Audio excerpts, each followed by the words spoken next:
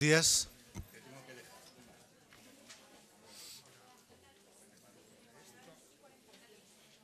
Bueno, como antes hay varias cosas, si no,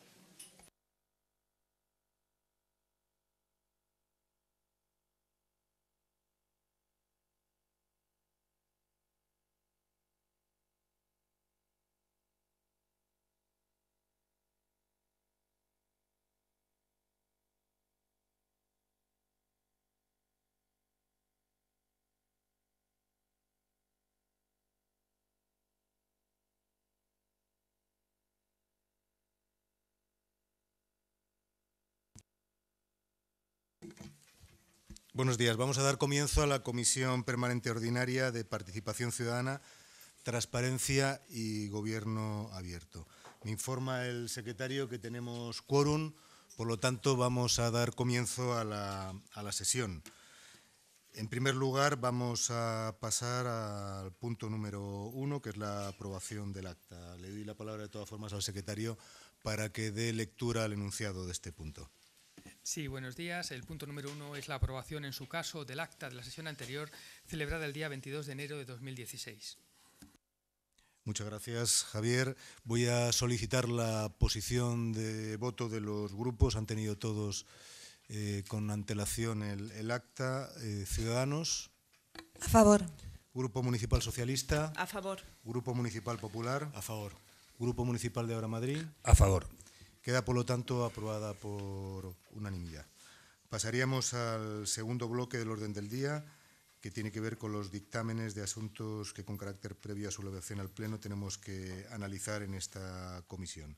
Le doy la palabra al secretario para que den lectura al enunciado del punto número dos. Sí, punto número dos es una propuesta de la Junta de Gobierno para aprobar el reglamento orgánico de modificación de distintos reglamentos municipales sobre la función directiva de los distritos, debiendo señalarse que en este punto se ha presentado una enmienda a la totalidad por parte del Grupo Municipal Ciudadanos Partido de la Ciudadanía. En Junta de Portavoces hemos organizado un debate conjunto en un primer turno, luego posteriormente abordaríamos eh, las votaciones por separado. Como es lógico, en primer lugar la enmienda a la totalidad y luego el texto del, del dictamen en función de esa primera votación. Eh, para un primer turno de intervención explicando la propuesta de la Junta de Gobierno. Tiene la palabra el delegado del área, Nacho Murgui. Por tiempo de tres minutos habíamos previsto inicialmente, eh, aunque a consideración de los grupos, si hubiera necesidad de ampliarlo un poco más, no habría problema. Adelante. Muy bien. Muchas gracias. Buenos días a todas y a todos. Eh, bueno, fundamentalmente, como tengo tres minutos, casi, además lo agradezco porque así nos obliga a ser breves y resumir. Eh, en cumplimiento del acuerdo del Pleno eh, que adoptamos en referencia a la figura de los, de los gerentes de los distritos y nosotros, además, teniendo en cuenta la situación que hay en las juntas de distrito y los proyectos que queremos desarrollar precisamente en, en una dirección que, como vengo repitiendo en todas las intervenciones en las que hago referencia a este tema, pues cuenta con el consenso de, la totalidad de los grupos que estamos representados en el Pleno del Ayuntamiento de Madrid, eh, nuestra intención con esta reforma es dotar a los distritos de un órgano directivo con facultades para coordinar la gestión de sus servicios y las relaciones con las áreas de gobierno, así como con los órganos públicos y empresas municipales, en un momento, como decía, en el que se inicia un proceso de descentralización y de desconcentración hacia los distritos. Eh, lo que entendemos con este órgano de coordinación, que lo vamos a quitar con este órgano directivo, que se va a dedicar fundamentalmente a la, coordinación, es restarle algunas de sus funciones que eran eminentemente políticas y darle unas funciones pues, más de carácter eh, directivo, de modo que tengamos pues, unas herramientas más adecuadas a los nuevos objetivos que tenemos mm, diseñados y que estamos diseñando en con el conjunto de los grupos políticos para las juntas para las juntas de distrito. Se trata de crear esta figura de coordinación del distrito bajo el planteamiento de abundar en la profesionalización de sus funciones y sus tareas directivas, manteniendo su carácter de órgano directivo del ayuntamiento eh, y tomando como referencia la figura de, y rango de dirección general.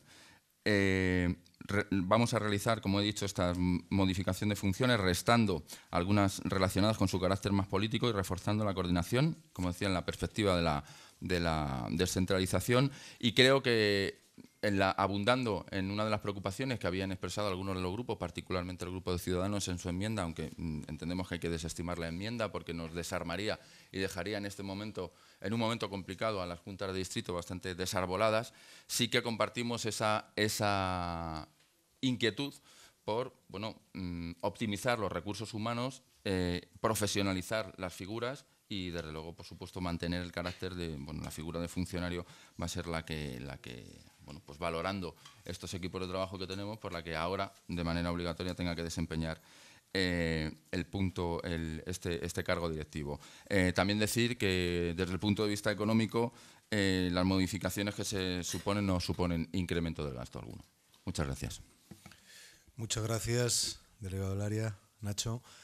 Comenzamos entonces el turno de intervenciones de los grupos municipales. En primer lugar, tiene la palabra Silvia Saavedra por Ciudadanos. Adelante, Silvia. Bueno, el Grupo Municipal Ciudadanos ha formulado una enmienda a la totalidad porque entiende que lo principal en una administración y lo que hay que hacer en estos tiempos es reducir gasto y cumplir los acuerdos del Pleno. Ya se lo hemos dicho por activa y por pasiva. Hay que cumplir los acuerdos del Pleno. Y el 28 de octubre del 2015, señores de Ahora Madrid y señor Murgui, se acordó suprimir la figura de los gerentes de distrito. Suprimirla totalmente, no crear una figura similar, una figura similar con otro nombre. Porque eso se llama, se llama coloquialmente tomadura de pelo. Entonces, eh, señor Murgui, la reducción que proponía Ciudadanos era una reducción de casi 2.300.000 euros del presupuesto del Ayuntamiento de Madrid, era reducir gasto. Ciudadanos lo que quiere es reducir gasto de la Administración Pública y bajar los impuestos, cosa que no quiere el Gobierno de ahora Madrid, cosa que no quiere, no quiere estimular la economía. Cuando se trata de reducir de lo suyo, cuando se trata de quitar puestos de los suyos, no les gusta un pelo, señores de ahora Madrid. Por eso, por eso hemos hecho esta enmienda a la totalidad. Además, esta enmienda a la totalidad que nos han contestado ahora en la comisión, que nos podían haber adelantado algo Em, a través de informes sobre nuestra enmienda a la totalidad, porque se lo están pasando por el arco del triunfo, y perdón la expresión. Muchas gracias. Muchas gracias, Silvia. Eh, continuamos con el turno. Ahora tiene la palabra el portavoz del Grupo Municipal Socialista, Ramón Silva. Adelante, Ramón. Muchas gracias, presidente. Buenos días a todos y a todas. Bueno, la verdad es que nosotros eh, consideramos que la modificación que se que se trae aquí de los, de los reglamentos es una modificación razonable, por eso la, la vamos a apoyar. En el, lo hemos dicho ya anteriormente, en el momento en el que vamos a a los distritos de más competencias y en eso estamos todos de acuerdo. No es el, es el momento de cambiar figuras, estamos de acuerdo, cambiamos la figura del gerente, pero no es el momento de quedarnos sin ningún órgano directivo en los distritos. Nosotros consideramos que precisamente es el momento en el que hay que reforzar la coordinación de los distritos, porque si hay algo que nos preocupa especialmente es que cada distrito vaya a su aire y haga cosas que no tienen nada que ver con las que hace el distrito de al lado, y para reforzar esa coordinación, desde luego que, esta, figura, este órgano directivo, este coordinador, pues nos parece que es, eh, desde luego, la, la mejor opción. Eh, el Pleno toma acuerdos y el Pleno cada acuerdo que toma varía un acuerdo anterior, porque si el Pleno no pudiera variar ningún acuerdo, seguiríamos, pues no sé si con lo de Tierno Galván o con lo de Álvarez del Manzano. Lógicamente vamos avanzando en las decisiones y cada decisión que se toma se entiende, entendemos todos, que es para mejorar el funcionamiento y yo en ese sentido, pues eh, desde luego vamos a votar a favor de la propuesta y vamos a votar en contra de la enmienda a la totalidad. Muchas gracias, eh, Ramón. Eh, continuamos. A continuación tiene la palabra el, portavoz del Grupo Municipal Popular, Percival Manglano. Adelante. Muy bien, muchas gracias, señor presidente. Eh, el Grupo Popular está muy de acuerdo con el Grupo Ciudadanos tanto en el diagnóstico como en la propuesta que hace frente a esta enmienda de los reglamentos. El diagnóstico lo ha calificado Ciudadanos de tomadura de pelo y nosotros estamos completamente de acuerdo. Esta, esta esta modificación de los reglamentos, en la práctica, lo único que hace es cambiar el nombre de gerente por coordinador general. Lo, hace en los distintos reglamentos donde hasta ahora se mencionaba a los gerentes y entonces pues eh, ahora lo cambia por el nombre de coordinador general. Hacer esto al amparo de un acuerdo del Pleno por el cual se acordó suprimir la figura de los gerentes es una auténtica tomadura de pelo. el espíritu de ese acuerdo era aligerar eh, los órganos directivos de las juntas, em, y todos estuvimos de acuerdo en ello. Ahora que el señor Murray nos diga que es que los gerentes tenían una función eminentemente política, eso pura y llanamente es falso. Los gerentes eran prácticamente todos funcionarios y además en la, última etapa de la anterior alcaldesa ya se, ah, ya se aprobó una eh, instrucción para que de facto todos los gerentes fuesen funcionarios. Una de las pocas novedades que incluye este reglamento es que, se ya no se va a poder hacer preguntas directamente a los coordinadores, como se hacía a los gerentes en, los plenos de las juntas de distrito, y se tendrá que hacer directamente al concejal, eh, quien podrá delegar en estos coordinadores. Es decir, se, quita eh, capacidad de control de los grupos de oposición a la labor del, coordinador. Esto entiendo que se hace al amparo de esta idea de que es que antes estaban politizados. No, lo que se está haciendo es Em, pues, eh, hacer más opaca su, eh, transparencia, su, gestión. Este, en el fondo lo que nos trae hoy el Gobierno es muy simbólico de la acción del Gobierno de ahora, de, ahora Madrid. Por un lado, una vez más, se eh, escamotea absolutamente la aplicación de lo acordado en el Pleno, y hay llueve sobre mojado, y por otro lado, los, los cambios que proponen son puramente cosméticos. Por lo tanto, eh, eh, de verdad creo que esto es muy simbólico eh, de, esta nueva política que se había prometido a los madrileños que iba a cambiar y cuando llega el momento de gobernar, bueno, pues lo único que se hacen son cambios absolutamente cosméticos de cambiar el nombre de gerente por coordinador general. Por ello, como digo, vamos a apoyar la enmienda de Ciudadanos y votar en contra de esta propuesta. Muchas gracias, Percival. Para concluir el turno de intervenciones, tiene la palabra de nuevo el delegado del área, compañero Nacho Ombrugui. Muchas gracias a todas y a todos y gracias por las, por las críticas que siempre nos ayudan, desde luego, a avanzar y a, y aprender y a perfeccionarlos. Lo que hacemos. Eh, a ver, con respecto a la tomadura de pelo, desde luego nuestra intención no es tomarle el pelo a nadie, es hacer las cosas lo mejor que podemos y lo mejor que sabemos. Lo que sería una tomadura de pelo es decir que vamos a darle más atribuciones y más competencias a las juntas de distrito y luego restarle las herramientas que hagan posible el desempeño óptimo de esas funciones nuevas que les vamos a atribuir. Es decir, en los últimos presupuestos, en estos presupuestos que hemos aprobado, hay muchos más recursos para las juntas de distrito. Tenemos que reforzar el canal por el que van a ir esos recursos. Tenemos que reforzar las herramientas de intervención política en los distritos para mejorar la vida de los vecinos y las vecinas. No podemos darle más recursos y restar herramientas. Eso por un lado. Eh, es un poco, toma, podría interpretarse también, no digo que lo sea, pero podría interpretarse también como una tomadura de pelo, decir que queremos darle más atribuciones a la Junta de Distrito y luego debilitar sus herramientas. Cuando dice que, es, que nos preocupamos de puestos de los suyos, de los suyos sería los gerentes. ¿Los gerentes son los nuestros? No, los gerentes era una herramienta que puso un ayuntamiento que estuvo gobernado durante 25 años por el Partido Popular, una herramienta eminentemente política, un instrumento para bueno, cooptar la estructura municipal y ponerla al servicio de los intereses partidistas y nosotros lo que estamos haciendo es precisamente esta figura nueva tienen que ser funcionarios y me entiendo que, has, bueno, que, has cometido un error. Eh, no, antes no tenían que ser funcionarios, ¿no? Y parece mentira que tú me lo digas, pero bueno. Eh, vale, vale. Por pero no tenían que ser funcionarios y de hecho había algunos que no eran, que no eran funcionarios. Un momento, eh, Ignacio. Si me permitís, por favor, no hacer diálogos, que cada uno utilice su turno eh, sin, referencias ni interpelaciones. Adelante. Muchas gracias, señor presidente. Entonces, nosotros no nos vamos a poner palos en la rueda, creemos que en esto tenemos que ser honestos, vamos a adaptar las estructuras que tienen ahora las juntas de distrito a sus nuevos cometidos y lo vamos a hacer con mucho cuidado. Yo siento no ser tan radical y rápido como le gustaría al señor Percival que, fuéramos en nuestros cambios y bueno, pues vamos a ir despacito y desde cierta moderación y desde luego con mucho cuidado para no romper nada. Eh, efectivamente hay unas diferencias, son, mm, van a ser puestos eh, directivos, necesitamos que haya, que haya puestos directivos en las juntas de distrito, no van a tener funciones políticas, van a ser funcionarios y, ya le digo que siento decepcionarles si no vamos tan rápido y tan lejos, pero yo creo que a lo largo del camino nos vamos a ir encontrando y, bueno, y vamos a, sobre todo en este tema, creo que va a ser posible que, lleguemos a amplios acuerdos y que veamos cómo efectivamente las juntas de distritos necesitan estructura y necesitan ir modificando la que tienen de una manera gradual y prudente, por supuesto. Muchas gracias. Muchas gracias, Ignacio. Vamos a pasar, por lo tanto, a la votación de en primer lugar, la enmienda a la totalidad presentada por el Grupo Municipal Ciudadanos, Partido de la Ciudadanía. ¿Mm? Vamos a pasar a la votación de la enmienda a la totalidad. ¿Eh? Luego votaremos el dictamen, ¿vale? Eh, Grupo Municipal Ciudadanos a favor.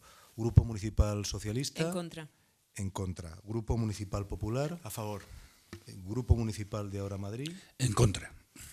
Queda, por lo tanto, rechazada la enmienda a la totalidad y, en consecuencia, pasaríamos a votar el dictamen en su redacción original. Eh, ¿Posición de voto del Grupo Municipal Ciudadanos? Totalmente en contra. Totalmente en contra. Grupo Municipal Socialista. ¿Eso suma más? Eh, sí, eso tiene una prima de 0,5. Pues totalmente a favor. Empatados. Grupo Municipal Popular. A favor, aunque es. Y Grupo Municipal de Ahora Madrid. Moderadamente a favor. He dicho, espera, que ahora con el lío este me, he equivocado. Sí. Con, el lío este me he equivocado. Perdón, me disculpo, eh, quería votar en contra. En contra. Sí. Grupo Municipal de Ahora Madrid. Pues es moderadamente a favor. Muy bien. Eh, con, con el voto ponderado, por lo tanto, queda aprobado el dictamen y cabría preguntar, eh, de acuerdo a lo establecido en el artículo 109.4 del Reglamento Orgánico del Pleno, si el Grupo Municipal Ciudadanos mantiene la enmienda para su posterior discusión en el Pleno. Eh, sí, la mantenemos, por supuesto. Así constará en acta y, por lo tanto, en esos términos se aprueba eh, el dictamen. Pasaríamos al siguiente punto del orden del día, el número 3. Le doy la palabra al secretario para que dé lectura a su enunciado. Punto número 3 es una propuesta del Área de Gobierno de Coordinación Territorial y Asociaciones para aprobar definitivamente, una vez transcurrido el plazo de información pública sin que se hayan formulado alegaciones, el Plan Especial de Control Urbanístico Ambiental de Usos para la implantación de la actividad de restaurante en las plantas baja y primera del edificio situado en la calle de Gaztambide número 3, promovido por particular, Distrito de Chamberí. Muchas gracias, Javier. En Junta de Portavoces hemos visto una intervención que quería hacer la portavoz del Grupo Municipal Ciudadanos. Adelante, tiene la palabra. Bueno, en este caso estamos a favor del plan especial. Lo que sí que queremos poner en relieve es que los planes especiales, ya sean del anterior gobierno, ya sean de ustedes, que lleguen, tienen que llegar con mayor celeridad, porque lo que se está haciendo es que mientras no se aprueba este plan especial, una actividad económica no se puede poner en funcionamiento.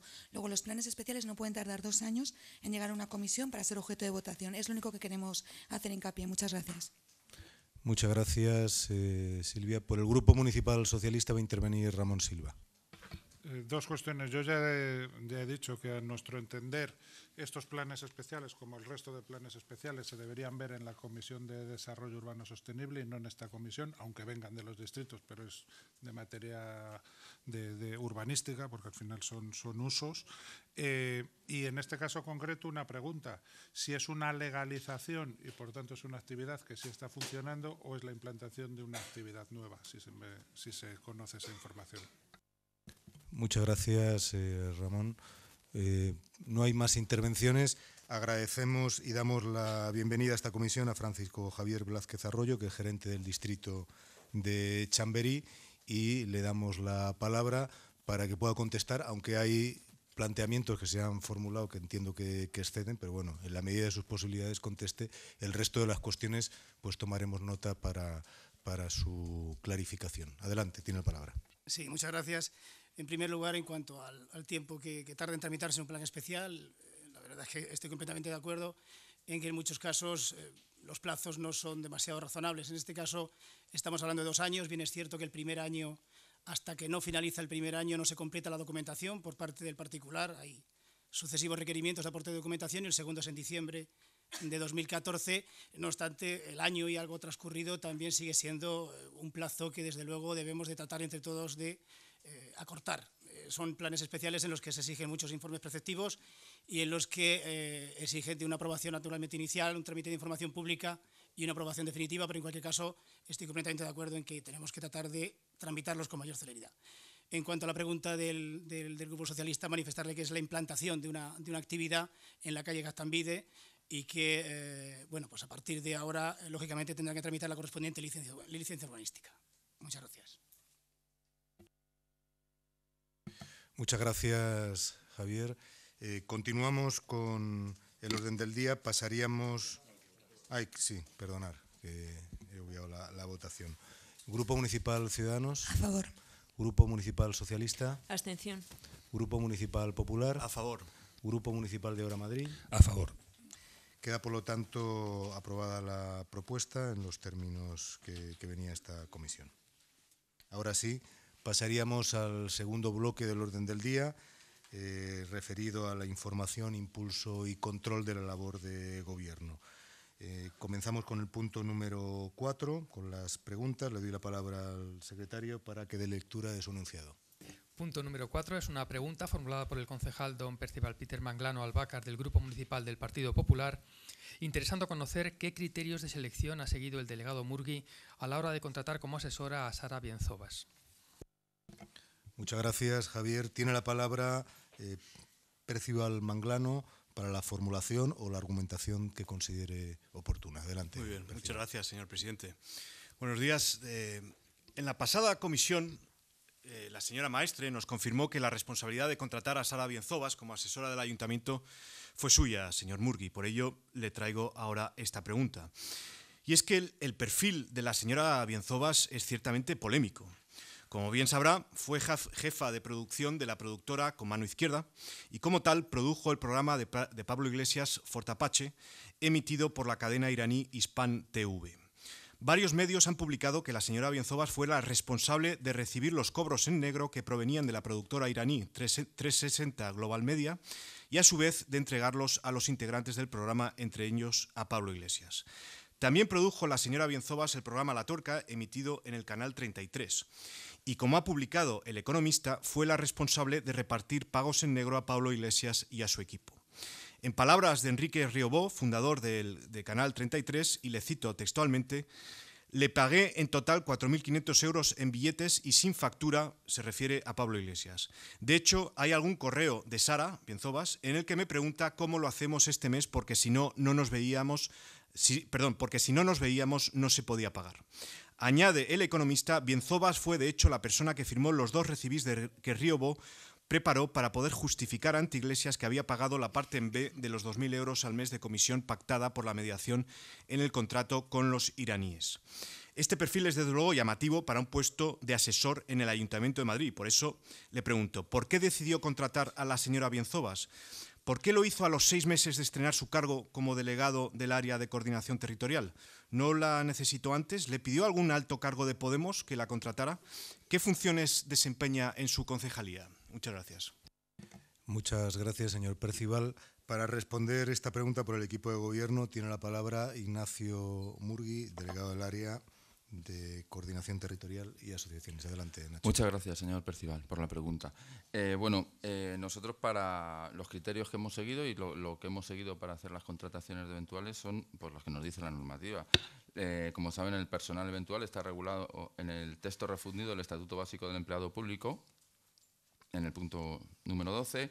Además, la Ley 7 1985 del 2 de abril, reguladora de la base del régimen local, se expresa mm, también eh, que el número de características y retribuciones del personal eventual será determinado por el pleno de cada corporación al comienzo de su mandato, como se ha hecho.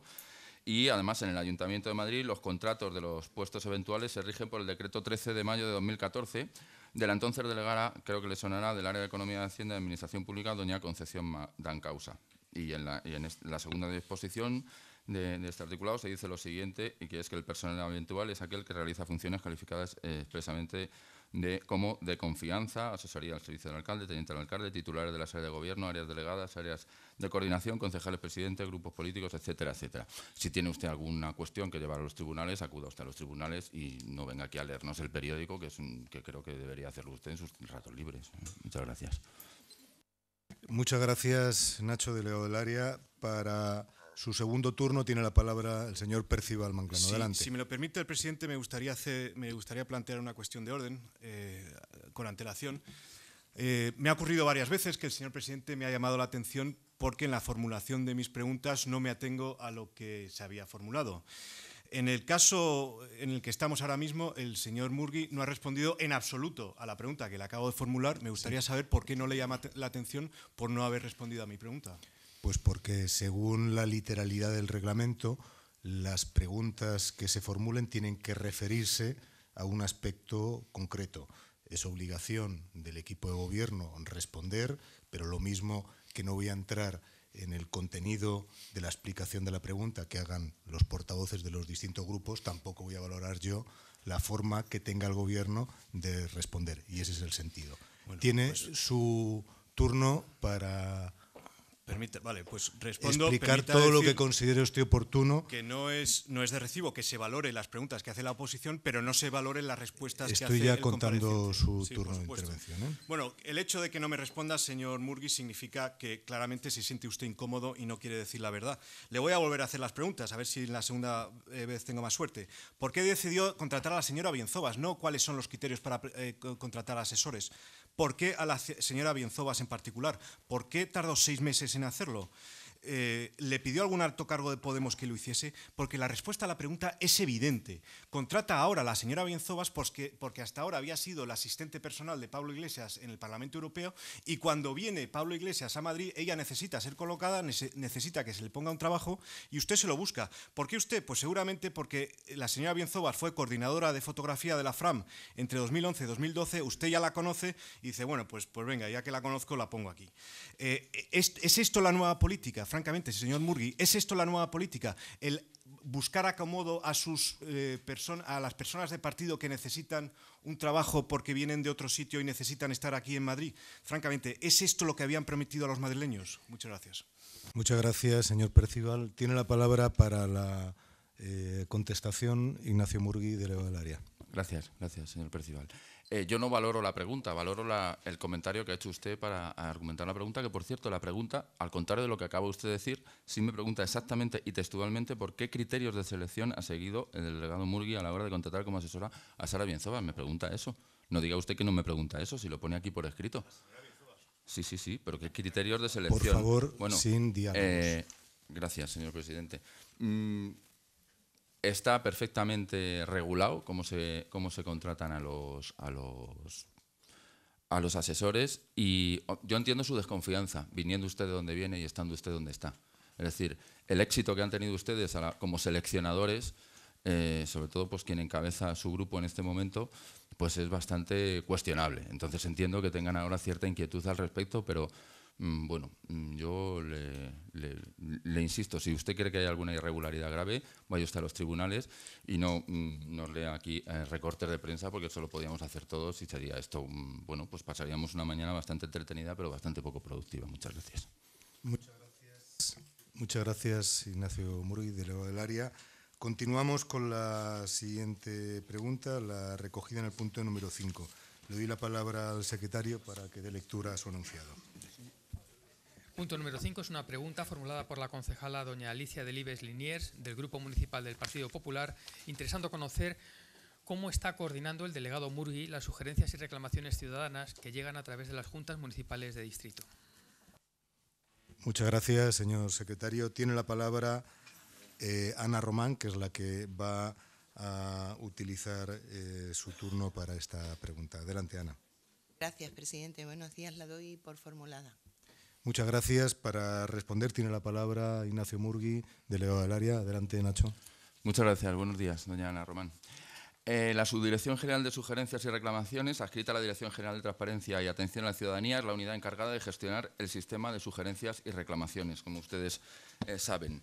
Eh, dicha Dirección General tiene entre sus competencias la supervisión, coordinación, evaluación y realización del seguimiento del sistema de sugerencias y reclamaciones. También elabora también elaborar y elevar eh, la memoria anual a la Comisión Especial de Reclamaciones y Sugerencias, de la que el Grupo Municipal del Partido Popular es parte integrante. Eh, en mi opinión, las sugerencias y reclamaciones son sobre todo oportunidades de mejora y por este motivo me interesa conocer, desde luego, las que se presentan en las juntas municipales de distrito, como no podía ser de, otra manera, tanto los tiempos medios de tramitación como las materias a las que se refieren. Eh, dicha información nos la proporciona la Dirección General de Transparencia y Atención Ciudadana siempre que se la solicitamos y estimamos que será relevante para el proceso de descentralización municipal. Además, muchas gracias. Muchas gracias, eh, Nacho. Tiene la palabra para su segundo turno doña Ana Román. Adelante. Bien, como siempre, no, no, aporta nada nuevo, nada de lo, que, de lo que ya se conoce.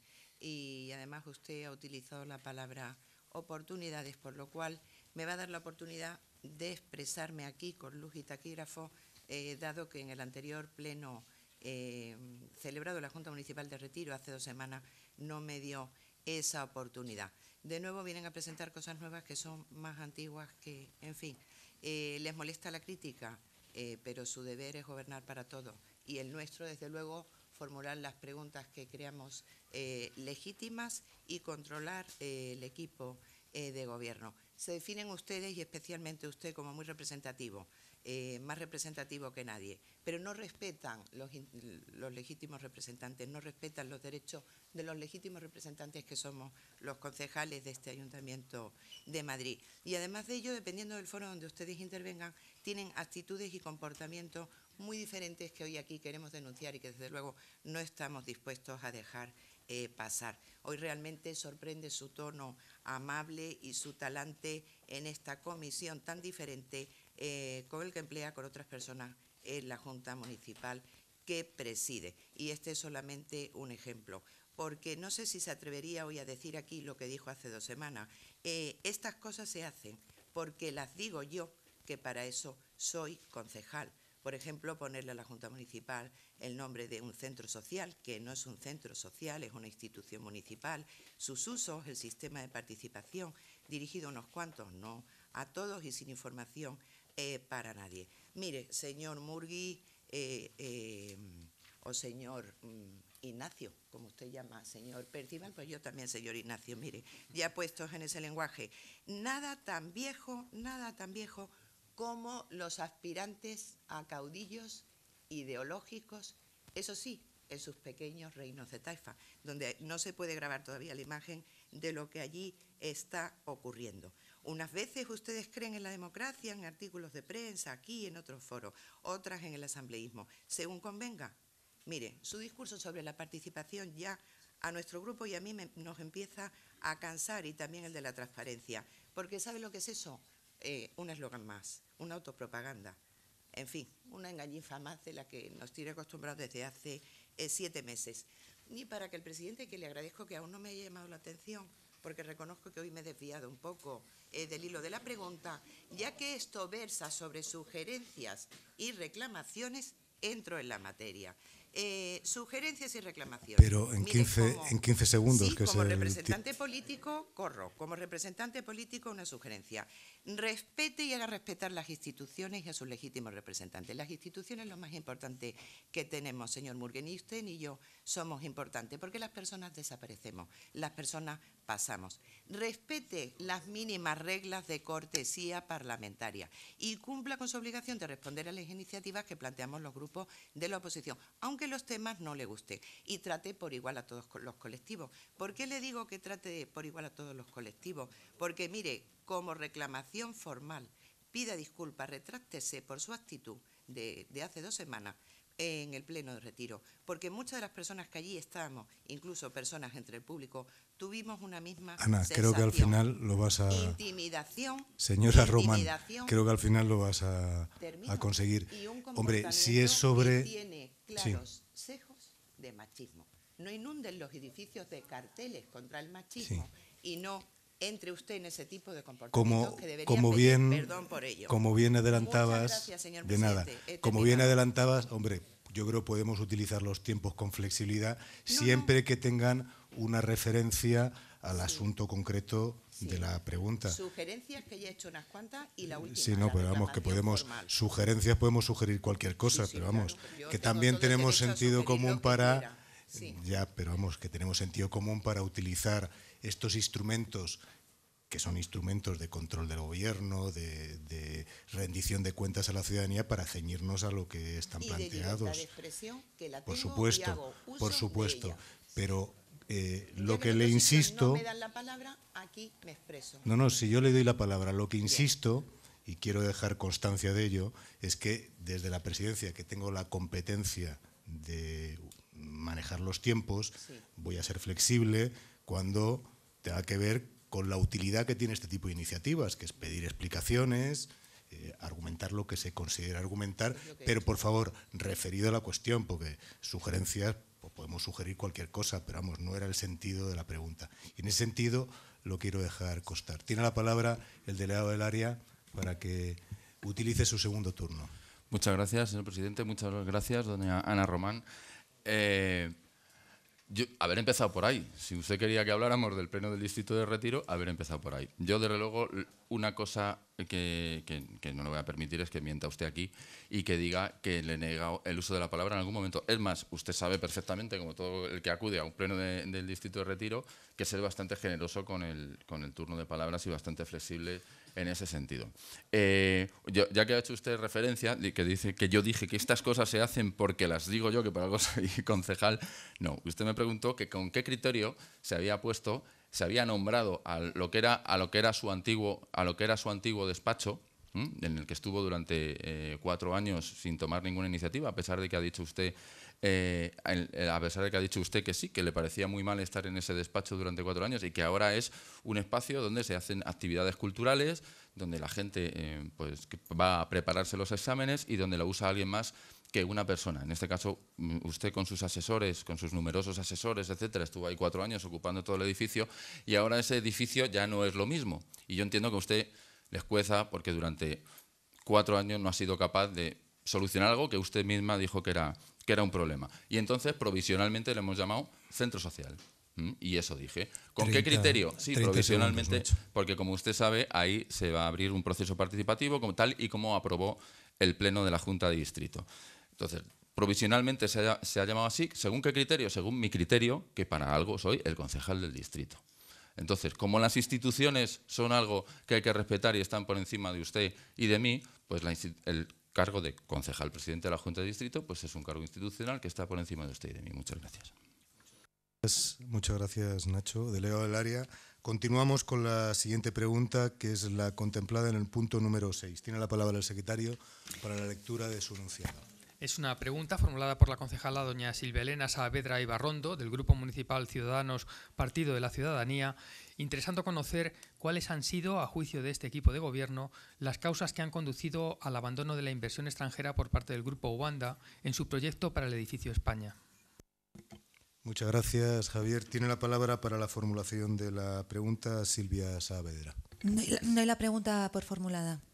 Muchas gracias, Silvia. Por el equipo de gobierno va a responder esta pregunta Luis Cueto, coordinador general del área. Luis, bienvenido. Tiene la palabra. Gracias. Bueno, voy a reproducir la información que me traslada el concejal responsable de Desarrollo Urbano Sostenible, que es quien tiene la competencia para eh, todos los elementos que tenga que ver con este proceso, pero con mucho gusto lo traslado yo. lo primero, eh, la pregunta da por hecho una cosa que el ayuntamiento no tiene constancia, y es que eh, Wanda ya ha decidido abandonar el proyecto. aparte de las informaciones periodísticas, el ayuntamiento no tiene una comunicación oficial de retirada de sus propuestas. Eh, por tanto, no, no, somos conscientes. Hay, información en prensa de que está intentando comprobar el valor actual de la inversión que han hecho y hay informaciones de prensa que compartimos de que el grupo eh, está tanteando a empresas para ver su posible venta. Eh, eso es lo único que sabemos. Por tanto, que haya que podamos opinar sobre lo que una empresa privada tenga en la cabeza sobre sus proyectos urbanísticos, pues la verdad es que es demasiado aventurado por nuestra parte. Muchas gracias, eh, Luis. Tiene la palabra para el segundo turno Silvia Saavedra. Adelante. Eh, muchas gracias, señor Cueto, por su explicación. Eh, el Grupo Municipal Ciudadanos y bueno, toda la prensa, yo creo que todos los grupos políticos tienen constancia de que usted es el auténtico bombero del Ayuntamiento de Madrid que es la persona a la que acude la alcaldesa, Manuela Carmena, cuando tiene un problema creado por otros concejales y no sabe qué hacer. Y muchas veces usted le dan la patata caliente y muchas veces usted no puede resolver el problema. Y parece que esto es lo que ha sucedido en el tema de Wanda. En la prensa y también hay eh, empresas encargadas de la venta de inmuebles que aseguran que Wanda ha puesto a la venta el edificio de, de Plaza España. Por eso queríamos saber su opinión sobre cómo se han llevado a cabo las gestiones respecto al grupo Wanda y la inversión extranjera en Madrid, este grupo chino. porque en primer lugar queríamos saber su opinión respecto a la actuación del excelentísimo concejal del área de desarrollo urbano sostenible, actuaciones nunca vistas, cómo pedir eh, dos informes externos para eh, analizar la fachada del edificio y su repercusión sobre la estructura, dos informes externos supuestamente objetivos. Cuando, señores, acudiendo al portal de eh, www.madrid.es, se puede ver que de objetivos nada. Se encargan dos informes a dos estudios a través de contratos menores, Aroca y Etor. Pues bien, Aroca no puede emitir un informe objetivo, porque tiene un acuerdo marco con el Ayuntamiento de Madrid vigente por un presupuesto de 3.353.000 euros.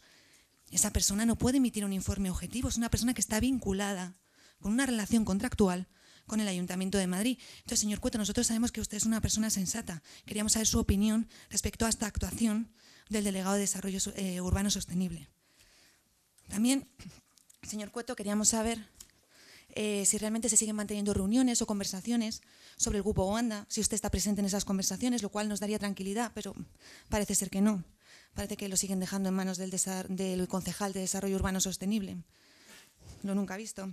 Eh, también queríamos saber eh, ¿Qué opinaba usted sobre las declaraciones que hizo tan tranquilamente, las declaraciones impensadas del concejal del área de, de, Hacienda y Economía, el concejal Sánchez Mato, cuando afirma que no pasa nada porque se vaya esta inversión? Declaraciones que hizo muy ufano con la señora Maestre en una rueda de prensa, diciendo que no pasa nada que se vaya la inversión, que 250 millones de euros no es nada prácticamente, que 6.000 puestos de trabajo no tienen importancia y que va a haber mucha más inversión en Madrid y que se están incrementando la inversión extranjera en un 40%. Entonces, señor Cueto, queríamos saber su opinión respecto a estas declaraciones eh, que parecen más una chirigota de la semana carnavalesca del Ayuntamiento de Madrid. Eh, queríamos saber si esa va a ser la actitud que va a mantener el Gobierno. Sé que usted se encarga de la internacionalización de las empresas y tiene competencias en ese sentido. Si va a poner un poco de orden, porque esa, esa es la imagen que se va a ofrecer de Madrid, esa es la imagen que queremos ofrecer de Madrid. Vamos a ofrecer una imagen de un ayuntamiento serio, un ayuntamiento que da seguridad jurídica. Le digo que efectivamente no han bajado las inversiones, pero porque hay una inercia. Pero a lo mejor el Grupo Ahora Madrid es capaz de parar esa inercia incluso. Y vamos a terminar la pregunta diciéndole que cómo piensa callar la incontinencia verbal del señor, del concejal de, Hacienda, eh, que señala eh, tales barbaridades como que no tiene importancia perder una inversión de 250 millones o más de 250 millones de euros. Muchas gracias. Muchas gracias, Silvia. Tiene la palabra para contestar el coordinador de la alcaldía, Cueto, adelante. Bueno, en primer lugar, ya avisé en mi primera comparecencia aquí que la vis expansiva de la palabra coordinador había que autolimitarla y yo el primero. Coordinar el ámbito interno de formulación de políticas cara a la Junta de Gobierno no significa que yo sea el superconcejal, que no es el caso. Por lo tanto, yo no tengo ninguna competencia para disciplinar a ningún concejal y, entre otras razones, porque mi cargo no es electo y es un, es un cargo directivo y mis funciones están bastante claras en los eh, competencias que me ha delegado la alcaldesa. Entre ellas, desde luego, no está sustituirla porque la coordinación política de cualquier ámbito de gobierno lo hace la propia alcaldesa, como no puede ser de otra manera. Eso eh, en cuanto a cuál es mi papel. Eh, respecto de las manifestaciones que ha hecho el concejal de Hacienda o reproducidas por Rita Mestre, dudo mucho que diga con esa alegría que no pasa nada porque se pierden inversiones. De ninguna manera, claro que pasa. Hay un enorme interés en que todas las inversiones que vienen a Madrid tengan la mejor de las acogidas. Yo he estado en una reunión, en otras reuniones ha estado la alcaldesa, porque es una inversión muy importante, porque el ayuntamiento la quiere mimar, y el resto, como no, es lo nunca visto, es lo contrario. Lo propio es que las reuniones las tenga el concejal competente, que es el de Desarrollo Urbano Sostenible. Que yo pueda estar en alguna por apoyar algo está muy bien, pero lo propio es que las reuniones las tenga el concejal eh, competente. Respecto de ¿Cuál es la situación?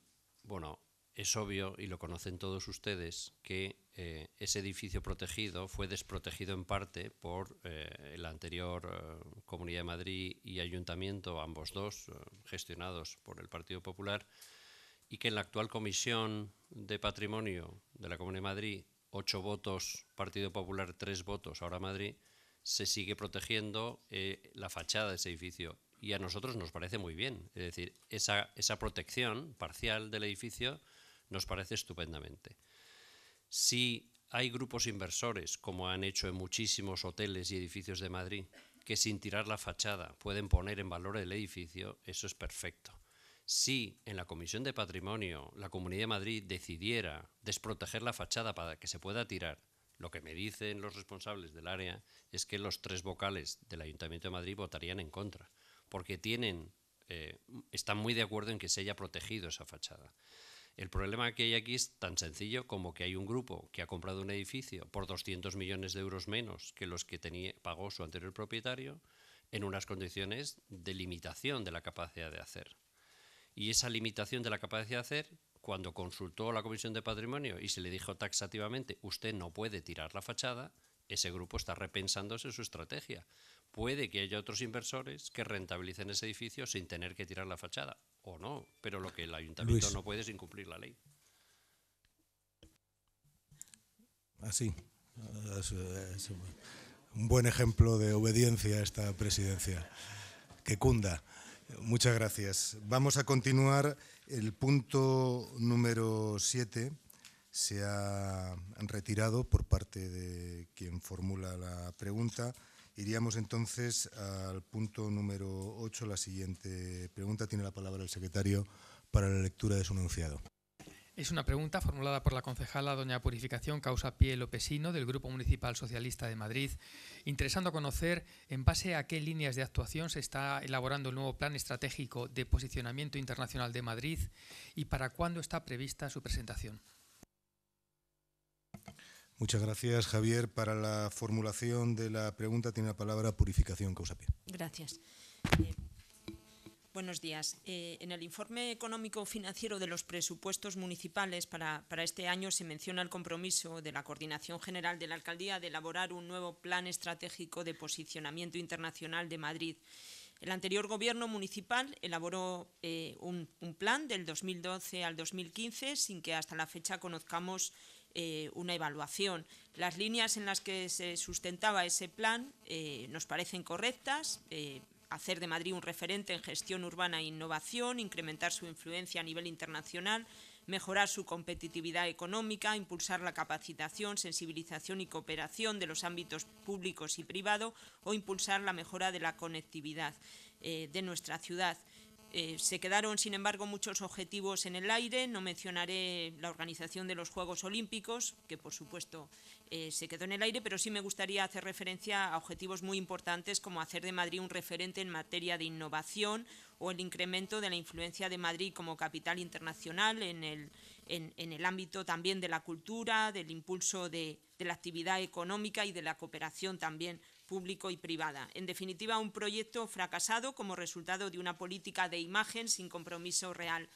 Ahora estamos en una nueva etapa y nuestra ambición es que hagamos un plan estratégico que responda a compromisos realizables y reales eh, pensados para el impulso de Madrid, su desarrollo económico, intelectual y cultural y el bienestar del conjunto de los madrileños y las madrileñas. Y además creemos que este plan debe servir para mejorar y aumentar el empleo en nuestra ciudad. Entendemos que sin duda es importante incidir y responder a intereses de sectores económicos, sociales y culturales, siempre que sean buenos para esta ciudad y que estén subordinados al interés general. Eh, nosotros, eh, a nosotros nos parece fundamental que exista ese nuevo plan estratégico y sí les sugeriríamos que ese plan estratégico recogiera algunas propuestas que, insisto, nunca tuvieron resultados, como ese interés por hacer eh, de, nuestra, ciudad un, referente en innovación, en capital intelectual, en, en tecnología, en inversión en I+.D., en telecomunicaciones, en sostenibilidad y medio ambiente. Hay diferentes informes internacionales que analizan el posicionamiento de las ciudades y no es precisamente ahí Madrid donde es pionero o referente.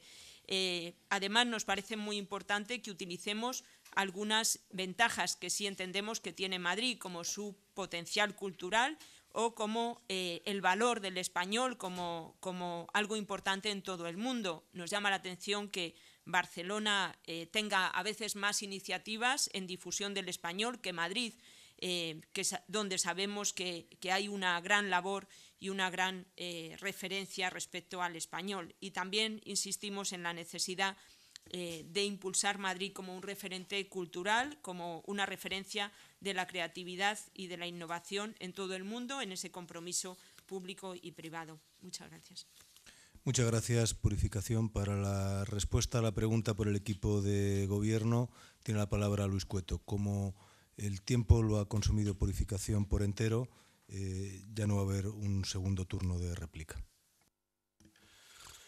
Pues me avisas cuando me quede un par de minutos o algo así.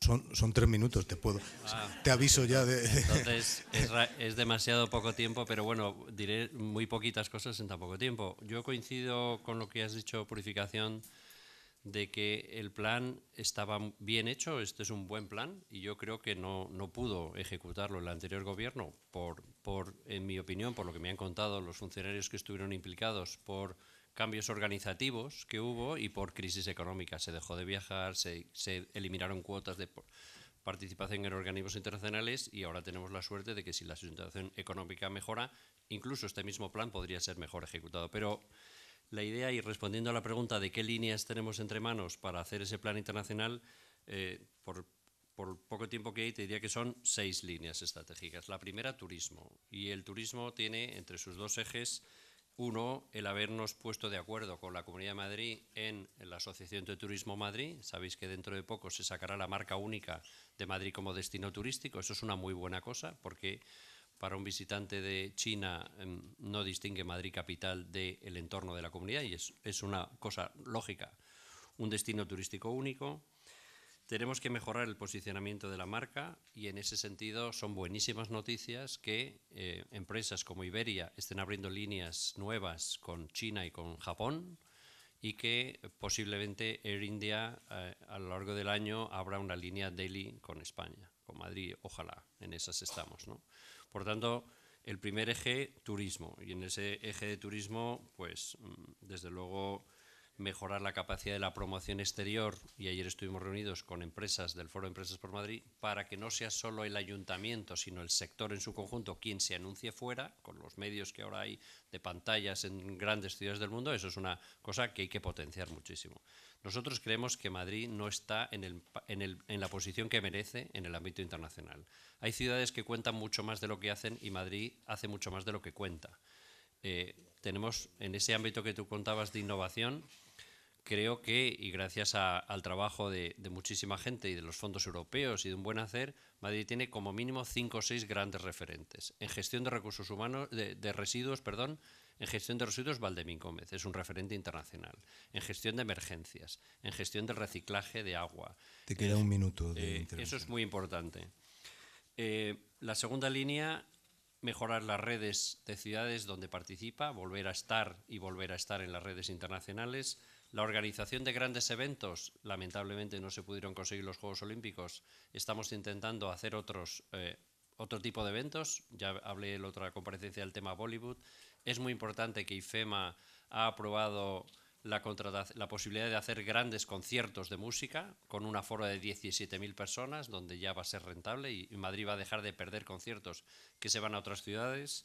Creo que también es muy importante el área de innovación. El área de innovación tanto por la compra pública innovadora como la puesta en marcha de verdad de la nave en Bulle Verde, yo creo que va a ser una gran cosa. Poner en común los grandes contenedores Campus Google, International Lab, que va a tener un prestigiosísimo premio en Holanda estos días, y es un trabajo que viene de lejos y lo habéis hecho fantásticamente bien y el ayuntamiento no rompemos ese juguete porque es fabuloso lo que se hace ahí y por tanto todo lo que se está haciendo en innovación mejorado es un gran marca internacional. Y finalmente, yo creo que en ese ámbito de Smart City ha salido siempre el tema de Mint, que es una pequeña herramienta, pero no es el corazón. El corazón es muchísimas otras cosas que se hacen en la ciudad de Madrid. Madrid es sede de las sedes de muchos multinacionales. Tenemos la Casa de América, tenemos la Casa Hay que potenciar en ese tema lo del español, que es, eh, es clarísimo y una de las estrategias sería hacer de Madrid una capital iberoamericana, como en el ámbito eh, norteamericano se reconoce a Miami. España, Madrid tiene los miembros para hacerlo. Luis. Y creo que, lo, y acabo solo, creo que la, la, coordinación de esas grandes líneas, turismo, innovación, atracción de capital internacional en inversiones, talento y cultura, eh, vamos a juntarlo esas líneas y esas son el PAC y yo creo que aproximadamente en dos meses la podremos tener formulada. Muchas gracias, coordinador general de la alcaldía, Luis Cueto. Continuamos con el siguiente punto del orden del día, que es el número 9. Tiene la palabra el secretario para que nos dé lectura de su enunciado. Es una pregunta formulada por la concejala doña Silvia Elena Saavedra Ibarrondo del Grupo Municipal Ciudadanos Partido de la Ciudadanía, dirigida al delegado del área de Gobierno de Participación Ciudadana, Transparencia y Gobierno Abierto, interesando conocer qué razones tiene para considerar que el cuestionario de 18 preguntas decidido es adecuado y resulta realmente útil para elaborar las bases del concurso de remodelación de la Plaza de España. Muchas gracias, Javier. Tiene la palabra para la formulación de la pregunta Silvia Saavedra. Doy la pregunta por formulada. Está, entiendo que está bien formulada. Muy bien y muy clara. Tiene la palabra para responder por el equipo de gobierno el delegado del área, compañero Pablo Soto. Adelante. Muchas gracias, compañero presidente. Em, vamos a ver, las razones por las que pienso que, que esta es una buena encuesta es por el método por el que se ha elaborado. Es decir, yo no tengo un criterio técnico, no soy sociólogo ni matemático para decir si esta encuesta es buena en ese plano, pero sí que tengo algún criterio para saber si es buena en, un plano de proceso democrático. Y es en ese, es en el plano donde, donde yo valoro la, encuesta. Seguramente si la hubieran hecho unos sociólogos o, no sé, una, una empresa o los propios sociólogos municipales de del Servicio de Calidad y Evaluación, hubieran hecho otra cosa, pero esto responde a un proceso democrático en el que muchas personas se ponen a pensar con distintos intereses, muchas veces enfrentados, en qué preguntas podemos consensuar. Y en ese sentido el proceso fue satisfactorio y por eso pienso que, las 18 preguntas eh, son las adecuadas. Gracias. Muchas gracias, Pablo. Tiene la palabra para su segundo turno Silvia Saavedra. Adelante, Silvia. Em, gracias por su información, señor Soto. Le tenemos que decir desde el principio, porque la verdad duele, que este proceso participativo está mal planteado, tanto el cuestionario como los trámites subsiguientes, aunque le duela, porque hay una falta de información, porque hay una falta de diagnóstico previo, porque el cuestionario está teledirigido. Eh, a usted le parecerá muy bien el método, pero es que en el método muchas personas han levantado la mesa, ha salido en la prensa, muchas asociaciones, luego el método también no estaba. Y bueno, vamos al cuestionario en sí y analizar la primera fase de este proceso participativo que desgraciadamente ya está en marcha. La pregunta número uno. ¿Cree que es necesario reformar la Plaza de España? Sí, no, no sabe. Pues bien, señor Soto, echamos de menos la opción depende, porque muchas veces depende de lo que, del gasto que supone. Cuando usted va a hacer unas obras en su casa, tendrá un presupuesto máximo, una cuantía máxima de lo que se va a gastar. Y es que aquí no es lo mismo 5 millones que 90 millones. No es lo mismo que el ayuntamiento tenga recursos suficientes, que el ayuntamiento tenga que incrementar la carga fiscal sobre los vecinos. No es lo mismo que el ayuntamiento tenga que establecer una figura que se llama contribuciones especiales para que los vecinos de Plaza España tengan que sufraguen, paguen los gastos en el futuro de las obras de remodelación de Plaza España. No es lo mismo. Además, hubiera estado bien que el concejal de Desarrollo Urbano Sostenible hubiera hecho su trabajo y no hubiera dado lugar a la espantada del Grupo Wanda. Hubiera estado bien que hubiera colaborado en la remodelación de las obras de Plaza de España. Pero claro, la deficiente gestión y la deficiente coordinación tampoco ayudan. Eh, vamos a seguir con, con las preguntas. La pregunta número tres. ¿Crees que es necesario limitar alguno de los siguientes usos? Y hace referencia a comercial, hoteles, restaurantes, terrazas, etcétera, etcétera.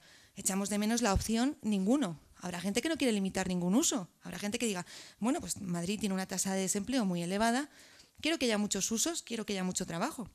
No se le deja esa opción. Continuamos con el cuestionario. La pregunta número 10 es que se lleva la palma.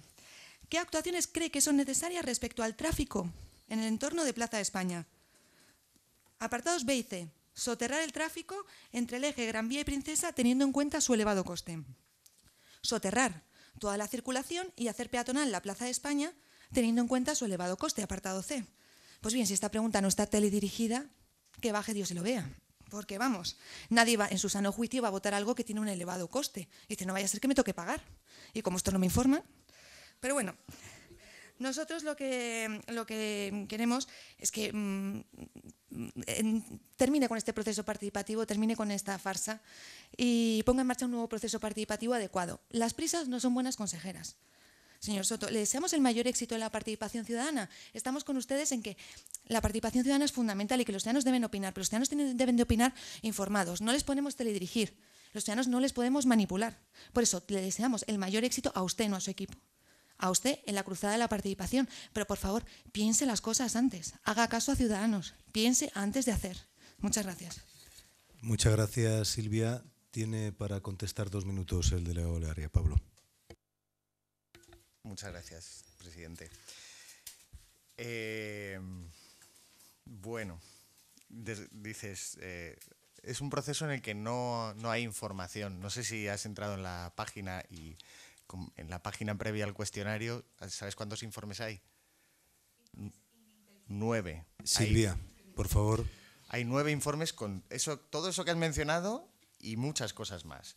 Son informes, además, que se ha tratado de elaborar de manera que personas que no tengan conocimientos técnicos puedan entenderlo. Además, hay una sección con preguntas y respuestas sencillas para que cualquiera, en dos minutos que le dedique, se entere de todo. Además, estamos haciendo debates abiertos en el Colegio de Arquitectos, en, otros lugares abiertos para que vaya gente que no son arquitectos. Entonces, estamos, intentando, estamos haciendo todos los esfuerzos en nuestra mano para que toda esa información esté. Y te puedo asegurar que no encontrarás ningún referente de proceso participativo en esta ciudad que se ha hecho con tanta información encima de la mesa. Y si lo encuentras, tráelo y lo vemos. Pero yo te, aviso que no lo vas a hacer. Por lo tanto, eh, bueno, también no sé si has entendido bien el proceso, porque te pones a criticar preguntas concretas, pero si quieres criticar la pregunta 1, habla con el grupo que la propuso. O la pregunta 3, has mencionado la 1, la 3, la 10. La 1 fue de consenso por todos los grupos de trabajo. La pregunta 3 la propuso inicialmente la plataforma Entorno con Eduque. La pregunta 10 la propuso por triple vía, Junta Municipal Distrito Centro, Confederación de Consumidores y Usuarios y los técnicos del Ayuntamiento con Metrobacesa de acuerdo. Y además, todas estas preguntas, todas, de la 1 a la 18, se aprobaron por consenso. No hubo ningún voto en contra, ni siquiera de las asociaciones más guerreras, que se abstuvieron, pero no votaron en contra. No, no, estuvieron en la sesión y se abstuvieron. Entonces, eh, dice, pare usted esto y haga caso a ciudadanos. Bueno, no, la participación precisamente va de eso, no de parar el proceso y que hagamos caso a una de las partes, no a ciudadanos, menos todavía ciudadanos en todo caso que al gobierno, que, sería su responsabilidad, pero esto no va de que hagamos caso a solo una parte. Usted dice, nadie en su sano juicio va a votar no sé qué opción. Bueno, habrá que ver, habrá que ver. Si, si no es un buen juicio, yo creo que la gente votará pues con buen juicio. Lo que no podemos hacer es tutelar y decir, bueno, es que esta opción, como no es la que yo creo que es de buen juicio, no, no, debe, no debe siquiera existir. Vamos a tener un poco de tranquilidad. Eh, afortunadamente, no desgraciadamente, como usted ha dicho, afortunadamente ha comenzado este proceso participativo que hacía falta y, va para adelante. Y, tengamos un poco de confianza en la gente, que la gente lo que, lo que quiere es que abramos este tipo de procesos y que, les permitamos opinar. No, no presupongamos que la gente no va a saber opinar o que va a votar mal. Pablo. Muy bien, muchas gracias. Muchas gracias, Pablo Soto. Continuamos con el siguiente punto del orden del día. Sería el número 10, si no me equivoco. Adelante, secretario. Es una pregunta formulada por el concejal don Ramón Silva Buenadicha del Grupo Municipal Socialista de Madrid, interesando conocer en relación con el anuncio efectuado en varios plenos de distrito de la nueva figura a la que llaman dinamizador, que trabajará con el movimiento asociativo para el desarrollo del Fondo de Reequilibrio Territorial, cuáles son, cuáles son sus funciones, cuántos son en total y cuántos van a estar por distrito si han sido contratados ya y si fuera así, cuál es la empresa contratada y por cuánto tiempo. Muchas gracias, Javier. Tiene la palabra para la formulación de la pregunta Ramón Silva. Adelante, Ramón. Muchas gracias, presidente. Buenos días de nuevo a todos y a todas. Lo cierto es que esta pregunta eh, quizá tenía sentido cuando se realizó. También, sinceramente, tengo algunas dudas eh, de que hoy tenga el, el mismo sentido que, cuando yo la formulé. En algunos plenos de, Junta Municipal de Distrito en el mes de enero, presidentes y, presidentas anunciaron que próximamente eh, aparecerían por los distritos unos dinamizadores, así le llamaron, que trabajarían con eh, las entidades asociativas para desarrollar la participación ciudadana en los distritos y las, y las inversiones. Eh, no es que nos parezca mal que se trabaje con el movimiento asociativo, más bien todo lo contrario, pero lo que, no, no, lo que nos parecería mejor es que el Gobierno nos, nos informe, nos cuente con todo detalle en qué, en qué consiste esto. Eh, la participación ciudadana y el desarrollo de la misma en los distritos y en la Ciudad de Madrid es un eje fundamental en el proyecto socialista y en concreto forma parte del, del programa del PSOE a la Ciudad de Madrid. Durante varios mandatos, exactamente seis, desde el PSOE hemos venido proponiendo modificaciones y diferentes enmiendas para que en esta ciudad se desarrollase la participación ciudadana y especialmente en los últimos dos mandatos en los que asistíamos perplejos a la inacción del gobierno del Partido Popular mientras los órganos de participación ciudadana de los distritos se iban vaciando de contenido y de entidades. Varias veces tendimos la mano al Gobierno para elaborar, junto con el movimiento asociativo, la modificación del reglamento de participación ciudadana y de los consejos territoriales, pero no hubo ni el menor intento de hacerlo.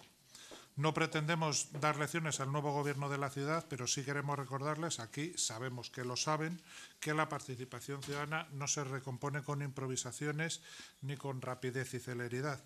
Sabemos que es un proceso largo y, progresivo. En participación, lo que se ha dejado de hacer no se reconstruye en el, mismo tiempo en el que se ha destruido o se ha dejado de descomponer, sino que hace falta tiempo para recuperarlo. Y precisamente por ello hay que hacerlo con sumo cuidado, dedicación y casi diría yo que con mimo. Y para que sea de todos tiene que hacerse con todos los agentes sociales y también con los grupos municipales, al menos con los que estemos interesados en ello. El grupo al que yo represento, desde luego que está y mucho eh, interesado en este asunto. Y desde esta perspectiva mi pregunta eh, tiene, entiendo yo que mucho sentido. ¿Quiénes son estos dinamizadores? Qué es lo que van a hacer en los distritos, en todos, en cuáles.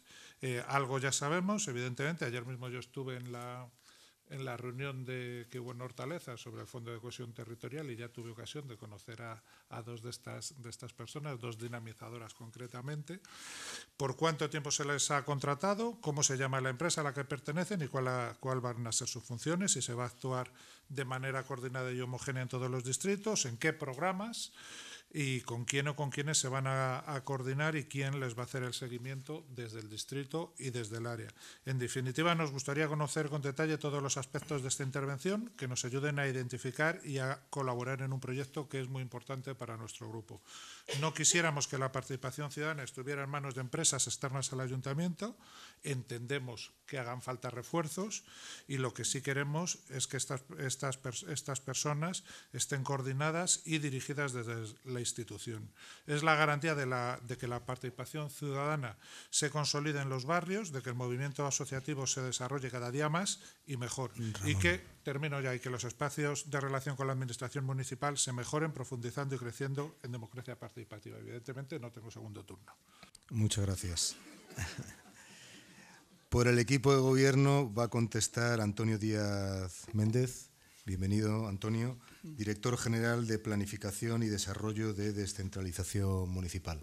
Tiene la palabra por un tiempo de tres minutos, ya que el eh, concejal que formula la pregunta ha agotado su, su Muy tiempo. Muy bien, gracias. Bueno, pues contesto, Ramón, a, a, la pregunta. Efectivamente, se ha puesto en marcha un, un, un, proceso de participación en los distritos orientado expresamente a la participación y concertación de las entidades en el Fondo de Reequilibrio Territorial. Ese es el objetivo. Con este objetivo y, con ese objeto se ha, puesto en marcha un contrato menor desde, desde la Dirección General, desde el área, que implica la puesta a disposición de ese proceso de una serie de dinamizadores un equipo de dinamizadores para realizar expresamente este. Este proceso. Las funciones que tienen esos dinamizadores son realizar la interlocución con la persona del área y realizar a su vez la interlocución con el distrito. Esa es la primera función que le hemos encomendado para que se desarrolle el proceso de forma homogénea en todos, en todos los distritos. Eh, su función es eh, completar la propia metodología de trabajo que desde el área se les ha, se les ha facilitado y desarrollarla e implementarla en cada uno, en cada uno de los distritos, contando eh, con cada distrito, es decir, también adaptando uh, en cierto sentido esa metodología uniforme a la realidad del distrito. En tercer lugar, su misión, su función es facilitar y propiciar la deliberación, el debate y la máxima participación del tejido asociativo del distrito sobre el Fondo de Reequilibrio Territorial y los proyectos que pueden ir incluidos en ese Fondo de Reequilibrio Territorial, incluyendo en esa deliberación y en esa participación eh, la propia ponderación de, los proyectos en su caso. En cuarto lugar, preparar y documentar todo el proceso, es decir, hemos pedido que documenten eh, con actas y con, eh, consignando a las personas asistentes, las entidades asistentes, etcétera, que nos documenten absolutamente todas las reuniones realizadas en cada uno de los distritos y presentar un informe final eh, del trabajo realizado al área y, y al distrito. El número de dinamizadores que preguntabas puestos a disposición son 10 de tal manera que puedan eh, ir dos personas por cada, por cada junta municipal. Si estuviste en Hortaleza, seguramente comprobaste que había dos, dos personas. La empresa contratada es eh, IMC, Instituto de Mujeres y Cooperación, y el plazo de ejecución exactamente es del 28 de enero al 12 de marzo. Eh, yo creo que con esto básicamente he contestado todo lo que querías y por supuesto estamos a disposición para ampliar cualquier información que necesitéis sobre este, sobre este eh, contrato y sobre este proceso. Muchas gracias, Antonio. Eh, vamos a continuar con la siguiente pregunta, que es la recogida en el punto número 11. Javier, tiene la palabra. Es una pregunta formulada por el concejal don Ramón Silva Buenadicha del Grupo Municipal Socialista de Madrid, interesando conocer cuál es el calendario previsto para los presupuestos participativos de 2017. Muchas gracias. Tiene la palabra Ramón Silva para la formulación de la pregunta. Aquí, como es mucho más concreto, voy a ser mucho más breve, presidente. Los presupuestos participativos son uno de los pilares de la política de participación ciudadana en el programa electoral del Partido Socialista Obrero Español a la Ciudad de Madrid y, por tanto, uno de los ejes esenciales, a nuestro entender, para la política eh, participativa. Aparece en nuestros programas electorales desde hace 25 años y por ello llevamos trabajando desde el comienzo de este mandato, ya que en los anteriores no se tuvieron en cuenta nuestras propuestas en esta, en esta línea. Bueno, lo cierto es que en casi ninguna. Otra cuestión se tenían en cuenta nuestras aportaciones. El desarrollo de los presupuestos participativos en otros municipios, gobernados por el PSOE, pero también por otras fuerzas políticas, nos ha llevado a defender esta propuesta con ahínco. Somos conscientes de que la Ciudad de Madrid, que tiene en su conformación un total de 21 distritos, como todos sabemos, lo hace más complejo. El desierto de políticas participativas en nuestra ciudad tampoco nos lo pone fácil. Y desde ahí la formulación de esta pregunta. Queremos y necesitarlo y necesitamos hacerlo bien, muy bien diría yo. Y eh, la, desafección de la ciudadanía es un reto para todos los representantes políticos y para la ciudadanía la implicación y la participación del, del mayor número de ciudadanos y ciudadanas hacen que debamos ser eh, muy cuidadosos no nos precipitemos, pero tampoco se nos pueden ir los plazos, como es lógico. La experiencia piloto que se ha llevado a cabo en algunos distritos, Arganzuela, Usera, Tetuán, San Blas Canillejas, nos lo ha hecho ver todavía más claro. Hay que empezar ya y hay que ser eh, muy rigurosos y, muy, tener mucho cuidado con eh, la información a la ciudadanía para que ésta llegue a todas las casas, a todos los centros, al último rincón de nuestra ciudad, para que todo aquel o aquella que quiera participar pueda. Igualmente de precisos con los procesos, los equipos técnicos tienen que tener el tiempo suficiente para analizar la viabilidad de los proyectos, la ciudadanía para exponer sus proyectos y juntos, si es necesario, reformularlos, por último, para proceder a la, a la votación de los mismos. Por eso, Pablo, queríamos eh, conocer la previsión, al menos el calendario, para cada una de las fases y los tiempos de cada una de las diferentes eh, fases, como decía, de este proceso. Muchas gracias. Muchas gracias, Ramón. Va a responder esta pregunta por el equipo de gobierno Pablo Soto, delegado del área de gobierno de participación ciudadana, transparencia y gobierno abierto. Adelante, Pablo. Muchas gracias, Mauricio. Eh, gracias por la pregunta, Ramón. Bueno, bastante de acuerdo con tu, todo lo que has eh, dicho en tu exposición. Son, cientos, si no miles, de, experiencias de presupuestos participativos a lo largo y ancho de todo el mundo, algunas implicando a, decenas de millones de personas, como ha ocurrido en India. y en Europa se está extendiendo de una manera maravillosa y además que no responde a un signo político concreto, sino que es un, avance democrático que se da de manera transversal a lo largo y ancho de todo el espectro democrático. Eh, en nuestro caso en particular, la experiencia que, vamos a poner en Madrid en marcha este año eh, tiene una relevancia eh, de carácter mundial, casi diría yo, porque mmm, va a ser la, experiencia de presupuestos participativos en un, municipio que involucra y da derecho a voto al mayor número de personas en, Europa. Porque París eh, es la ciudad más grande de Europa que ha llevado a cabo presupuestos participativos, pero Ana Hidalgo, la alcaldesa de París, no, gobierna sobre toda la área metropolitana, sino en, la villa de París, que son, creo que no llegan a dos millones. Por lo tanto, eh, fijaros que vamos a poner en marcha la experiencia mayor de presupuestos participativos de la historia en Europa este año. Eh, yo lo digo y casi que me emociono. Por lo tanto, también mucha responsabilidad.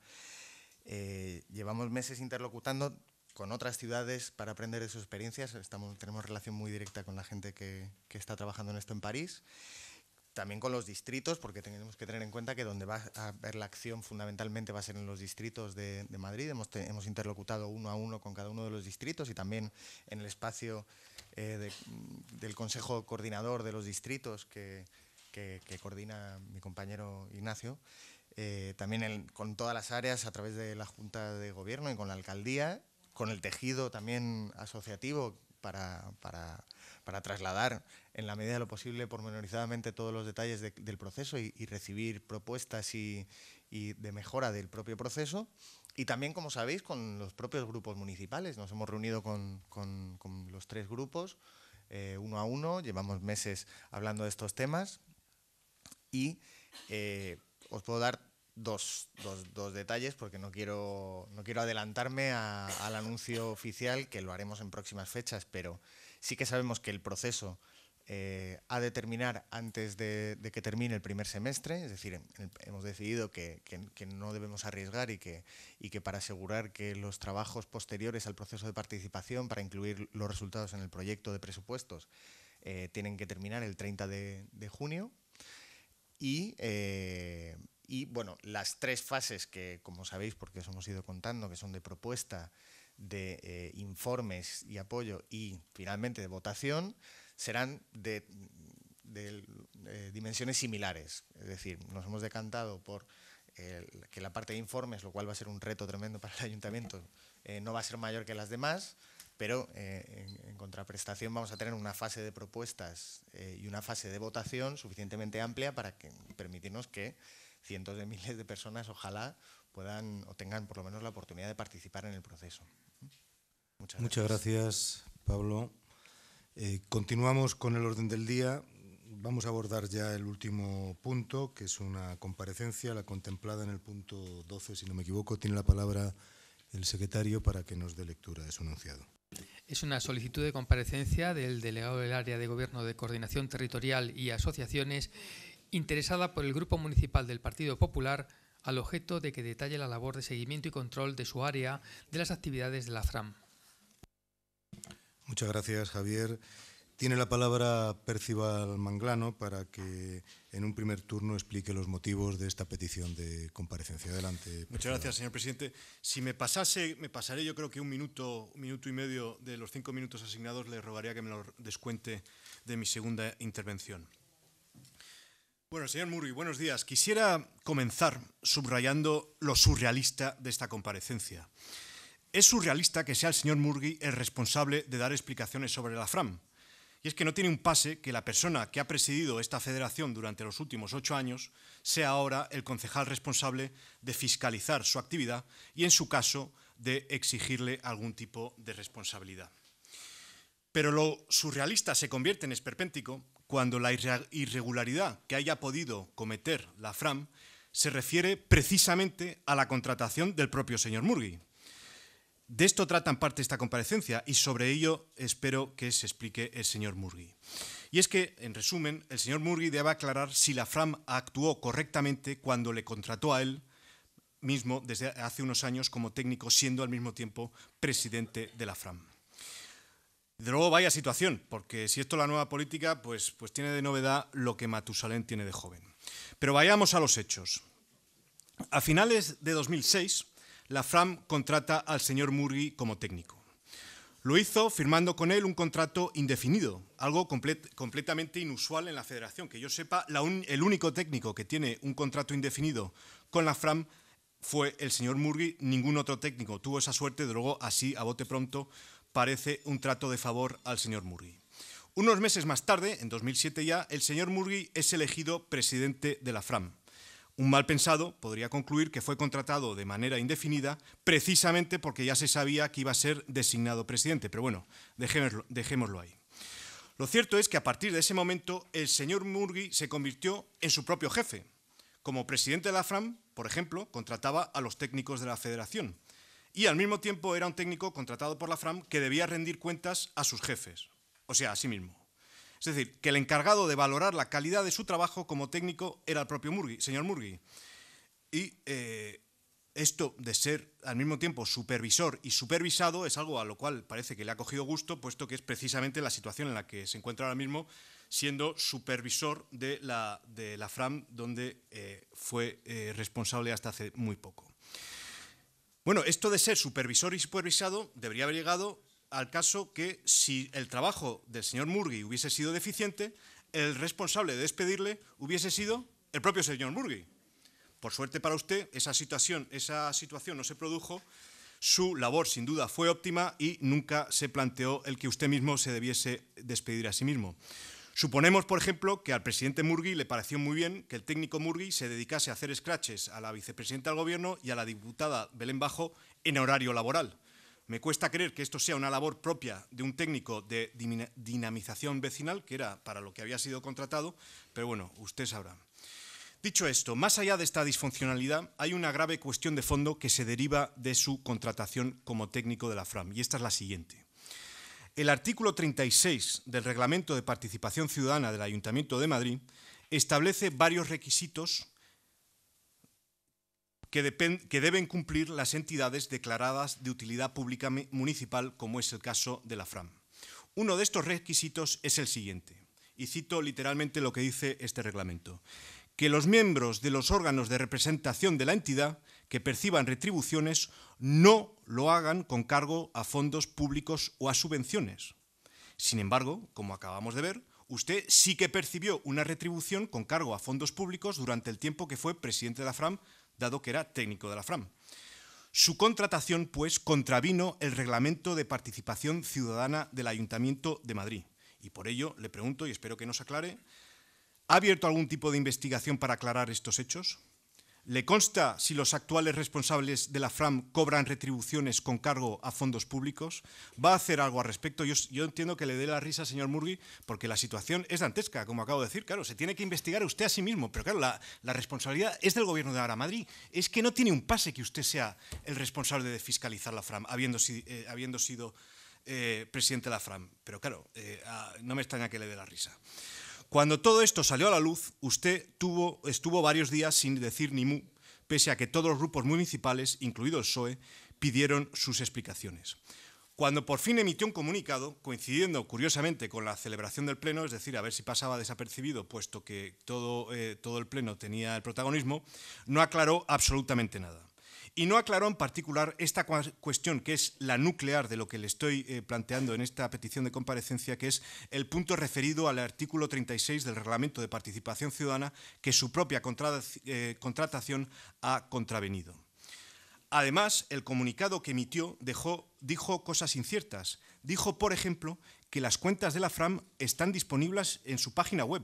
Falso, falso, de toda falsedad. Lo único que hay en la web de la FRAM es un link que bajo el título de Informe de Auditoría 2014 lleva a una hoja, una hoja sin una sola cifra, firmada por un auditor llamado Juan Ramón López, que expresa su conformidad con esas cuentas. Pero las cuentas en sí no están en ningún sitio, las cuentas de la FRAM no están publicadas en absolutamente ningún sitio. Entonces yo le pregunto a usted, ¿por qué mintió en, en, el comunicado diciendo que las cuentas de la FRAM son públicas cuando no son públicas? ¿Por qué no publica la FRAM sus cuentas? ¿Qué tiene que esconder? Lo va a investigar usted. Espero que nos dé las aclaraciones pertinentes. Muchas gracias. Muchas gracias, señor Manglano. Has consumido seis minutos, o sea que los descontamos tendrás nueve, prácticamente tu, completo tu segundo turno. Para contestar a esta petición de comparecencia tiene la palabra el delegado del área, compañero Nacho Murgui. Adelante. Muy buenos días a todas y a todos. No sé si quiere que me remita yo y le conteste a lo que pone en, el objeto de la comparecencia o a lo que me ha preguntado usted ahora.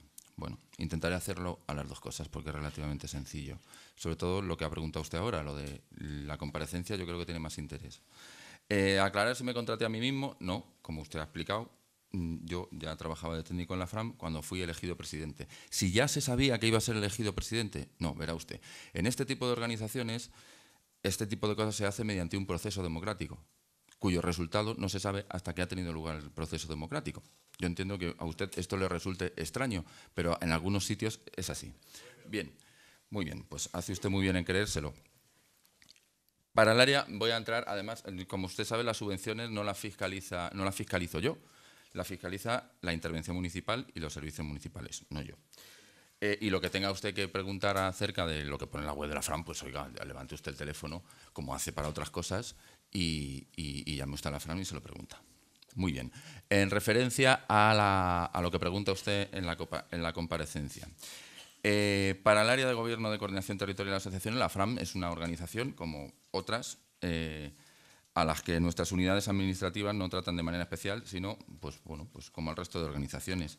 Eh, yo sé que esto se ha convertido en un tema recurrente para ustedes, pero y ya le he dicho antes que, bueno, pues sí, efectivamente, yo he sido presidente de la Federación Regional de Asociaciones de Vecinos de Madrid, hecho del cual me enorgullezco y ha sido uno de los periodos más ricos, más mm, constructivos y más interesantes de mi vida y lo recordaré y lo llevaré en el corazón para el resto de mis días. Eh, el control llevado a cabo por el Ayuntamiento de Madrid es similar al que se realiza, como decía, en cualquier administración pública. Es decir, en función del momento en que se produce el control, control puede ser previo, concomitante o consultivo. Si se observa a quién realiza la acción de control, se distingue el control interno del externo. Si se fija la atención en el tipo de prueba utilizada, podemos diferenciar el control formal del material. Y finalmente, y según la finalidad, el control puede ser de legalidad o cumplimiento, financiero de regularidad y, por último, control de eficacia.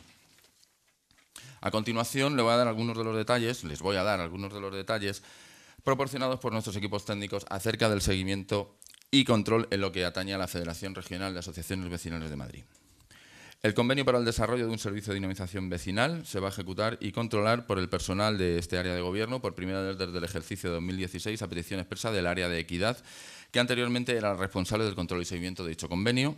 En lo referido a la coordinación de los planes de barrio, el servicio mm, convoca las comisiones ciudadanas de seguimiento de cada uno de los 26 planes de barrio en las que junto al área y los distritos participan la Federación Regional de Asociaciones Vecinales de Madrid y las asociaciones del barrio concreto al que se refiere cada citada comisión. En 2015 se han celebrado 46 comisiones eh, ciudadanas de seguimiento de los 26 planes de barrio. En lo referido a la gestión del convenio de subvención para la ejecución por las asociaciones de proyectos y actuaciones, la Federación Regional de Asociaciones Vecinales de Madrid, a partir de ahora FRAM, eh, coordina la labor de las asociaciones participantes y gestiona los pagos a que, dé lugar, a que dé lugar la ejecución material de las actividades.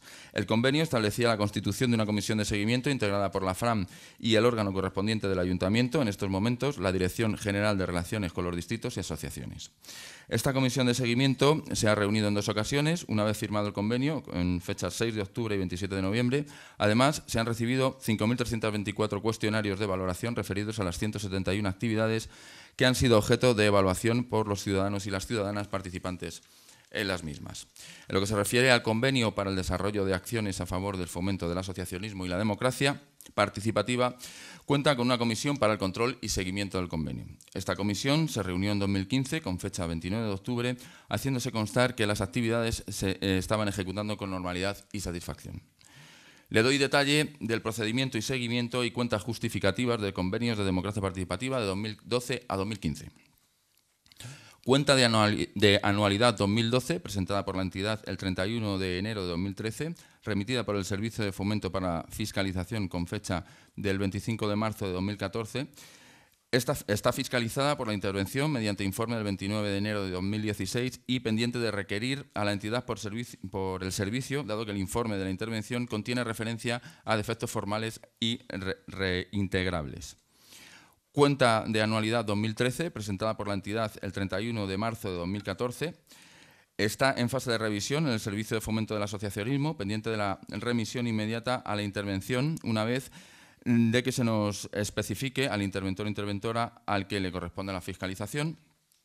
Cuenta de anualidad 2014, presentada por la entidad el 31 de marzo de 2015, no ha sido revisada aún por el Servicio de Fomento por razones de falta de recursos de personal y está prevista la revisión en el primer cuatrimestre de 2016 y su remisión en intervención para informe fiscal. La cuenta justificativa de la anualidad 2015 está en plazo de presentación.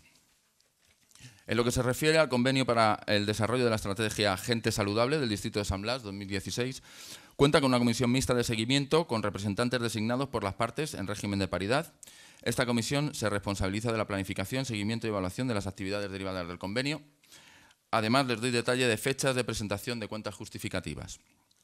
Cuenta de anualidad 2012, presentada el 28 del 6 de 2013, fue remitido para informe fiscal por el servicio con fecha del 15 del 12 de 2014 y está fiscalizada por la intervención mediante informe del 29 de enero de 2016 y pendiente de aprobación.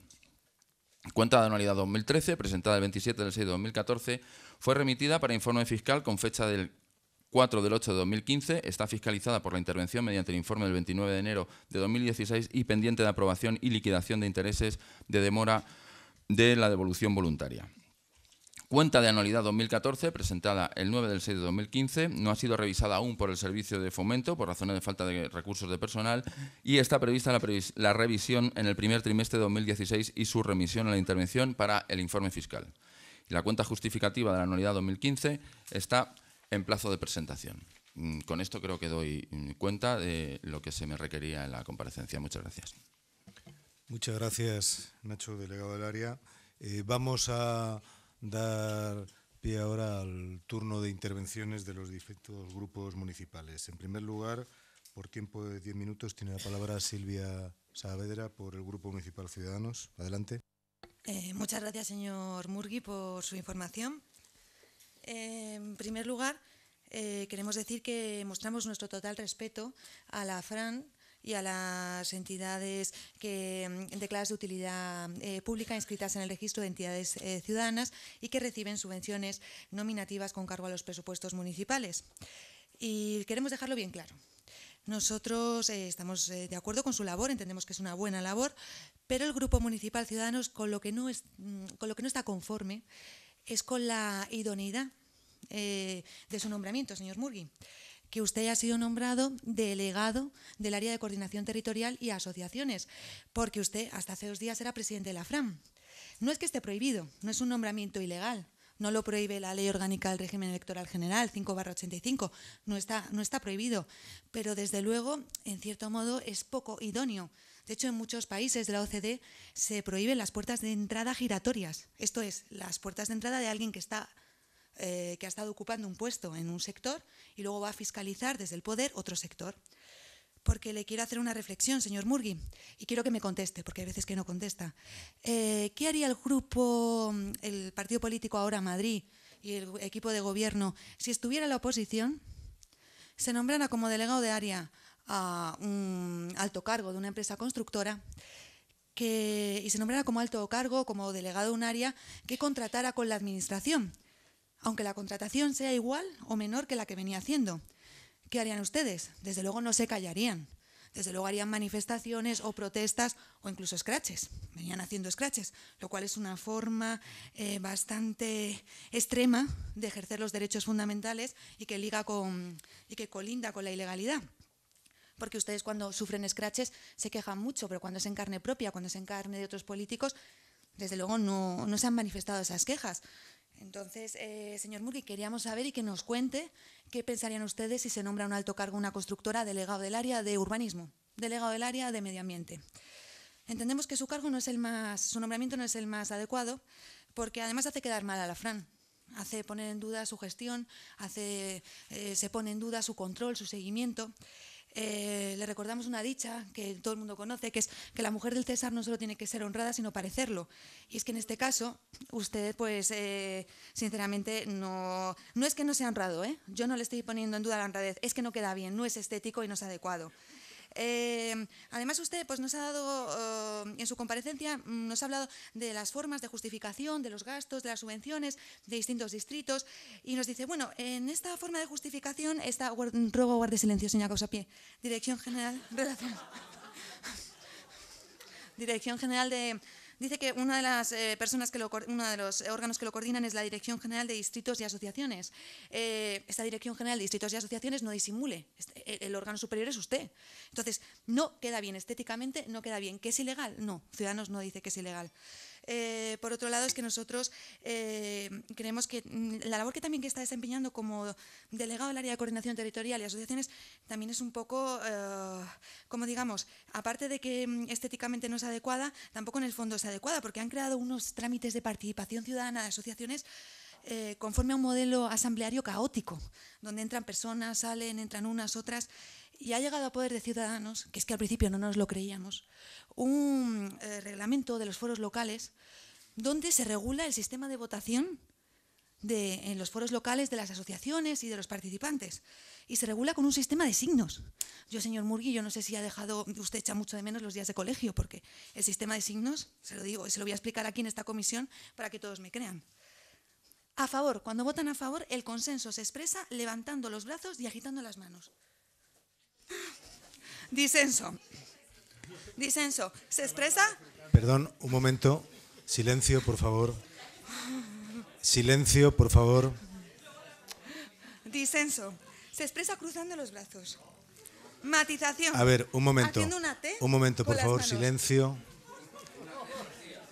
A ver. Aviso de que el discurso está siendo demasiado prolijo, moviendo los brazos en círculos para los algo. A ver, un momento, por favor. Yo sé que está interesando mucho la intervención de Silvia, pero por favor, escuchémosla. Entonces, permítame la broma para discernir el ambiente. Echamos de menos alternativas como la abstención. Entonces le proponemos que se tape el dedo en la nariz y ahora sí. Entonces, estas deliberaciones, la verdad es que podían inspirar la canción del verano, la votación, se podría llamar, vamos, porque desde luego ahora en Madrid podía ser bastante inspirador, porque estas asambleas, es que la verdad es que, bueno, pues es, algo totalmente bueno, pues divertido y poco serio. Vamos, señor Murgui, me parece muy bien que, eche de menos y que le gusten los jueguecitos, pero yo creo que para tu casa, vamos. Eh, bueno, en fin, vamos a ponernos serios. Eh, también eh, nosotros, señor Murgui, estamos muy descontentos con su gestión respecto a, las juntas municipales de distrito, también respecto a la Junta de Usera, que apareció un cartel de si los ocupas, justo debajo de Ara Madrid, que si los ocupas entran en su casa, que hable con ellos, que dialogue con ellos. Es que, señor Murgui, eso es un delito. Eso es un delito del 245 del Código Penal y aparece justo debajo de un cartel de Ahora Madrid. O sea, que disimules no hay muchos. Entonces, eh, señor Murgui, tiene que hacer una buena gestión, tiene que controlar las juntas municipales de distrito, porque es usted el encargado. Desde luego, estos, estos, eh, estos carteles eh, no se pueden colocar bajo ningún concepto, porque además es que ninguna persona que entre en su casa se va a poner a dialogar con los ocupas. Es que se piensan que la gente pues no, no piensa o, tiene un poco de retraso mental, no sé, oligofrenia, porque es que no, lo entendemos, señor Murgui. Entonces, la verdad es que queremos que, quiera, que ponga orden en las juntas municipales de distrito. No tenemos nada más que decir, no ponemos en duda su honradez, su buen hacer, todo lo que hacen ustedes. Lo único que le queremos decir es que esto no es serio, que esto es más propio de, un carnaval, que mm, por un lado está la honestidad y por otro lado la aptitud y la capacidad de gobierno, tanto de usted como de todo el equipo de Ahora Madrid, porque mm, este ayuntamiento es un desastre en su gestión. Cuando hacen las cosas o es un fracaso, un escándalo o las dos cosas a la vez. Tienen la, la, la cualidad de hacer eso, dos cosas a la vez, escándalo y desastre. Entonces, simplemente terminamos nuestra intervención haciendo referencia a que parece el rebuzno de los dirigentes, como decía Cervantes el Quijote, el rebuzno de los dirigentes. Muchas gracias.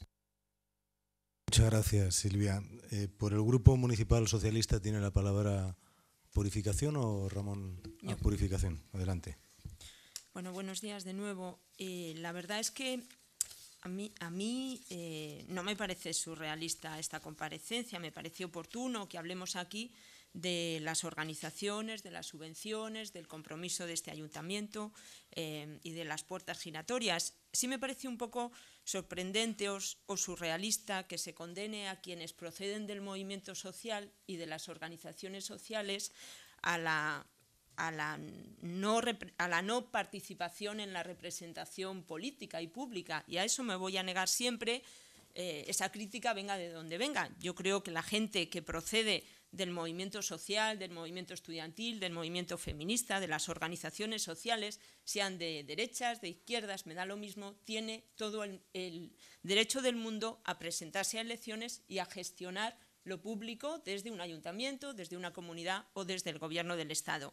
Otra cosa sería demonizar a la gente que participa en lo social y creo que eso nunca lo debemos hacer. Es más, les diré, porque he participado en muchas organizaciones sociales eh, a lo largo de mi vida y también políticas, que es una buena escuela para aprender democracia y para aprender participación eh, pública y participación política y gestión de la política.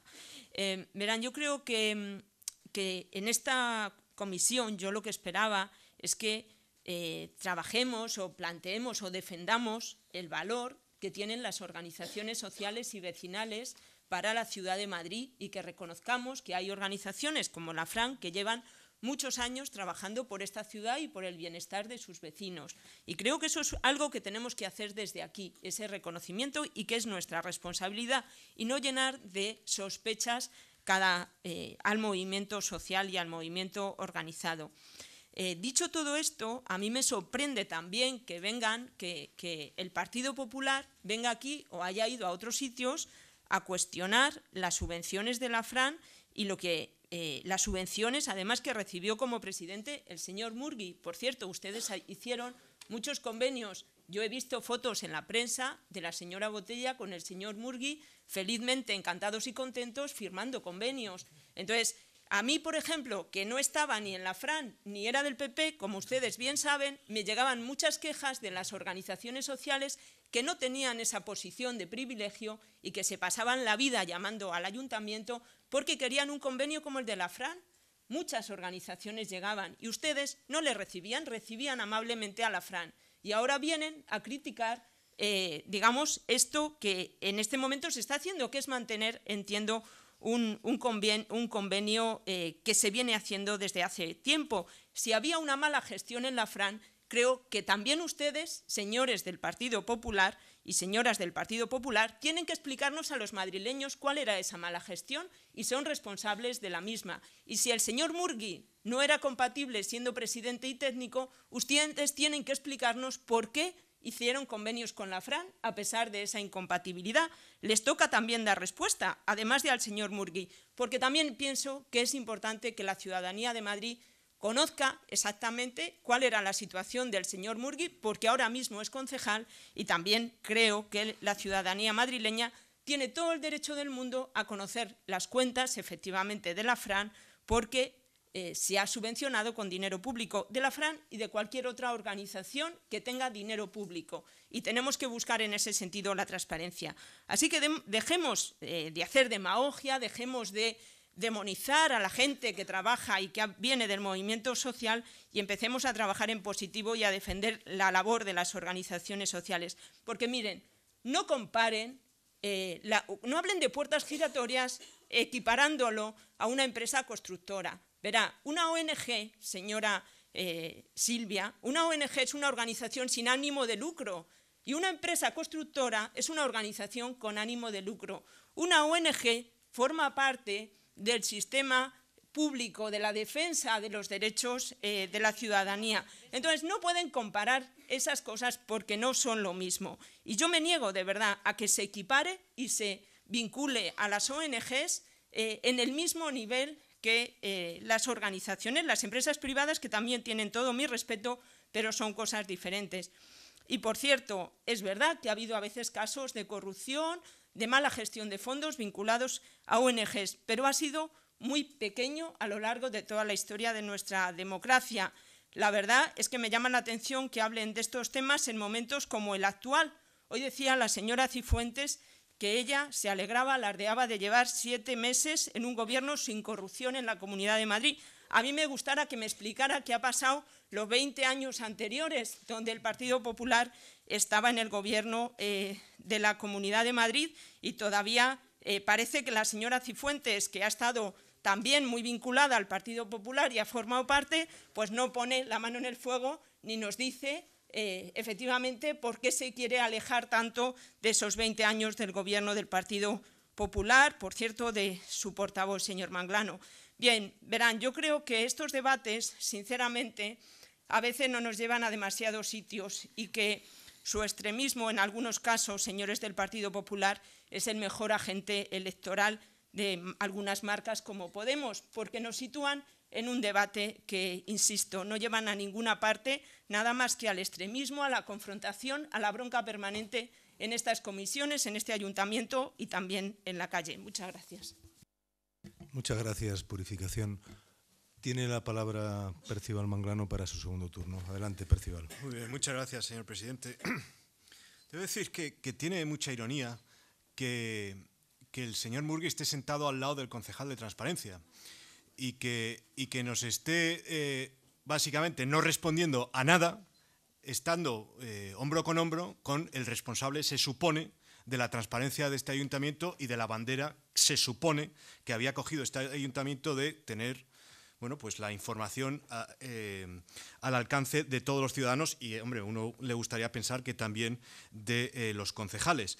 Eh, no es solo que no me haya contestado la pregunta primera sobre la señora Bienzobas, no es solo que tampoco me haya contestado a todo lo que le he planteado ahora, es que, eh, es que le puedo dar más ejemplos. Eh, según su agenda, señor Murgui, usted no trabajó ni el lunes, ni el martes, ni el viernes de la semana pasada. Pero, y, no me diga que es que es la carga de gestión que pueda tener cuando evidentemente usted no tiene, no tiene mucha gestión. En fin, su, su, su su concejalía, pues francamente, tiene bastante poca carga de gestión. Eh, luego, el, hecho de que sea recurrente, que los eh, concejales no estén completando su agenda, bueno, pues en su caso es un ejemplo eh, pues que lo lleva muy, con mucho honor. Por otro lado, cuando le hemos preguntado y le hemos hecho peticiones de información para que nos dé las listas de subvenciones municipales que, nos que le dio a la FRAM, lo único que nos ha mandado es la lista de los planes de barrio. Pero bueno, eh, pero nos toma por tontos. La, única información que nos da son los planes de barrio. Nos hemos tenido que volver a hacer una petición de información para que nos responda de verdad. Entonces, em, yo me gustaría pensar que eh, el señor Soto en algún momento le va a tirar de las orejas, le va a tirar de las orejas y no solamente soplarle a la oreja como está haciendo ahora. Em, y, en algún momento le exigirá que sea un poco más transparente de lo que ha sido hasta ahora.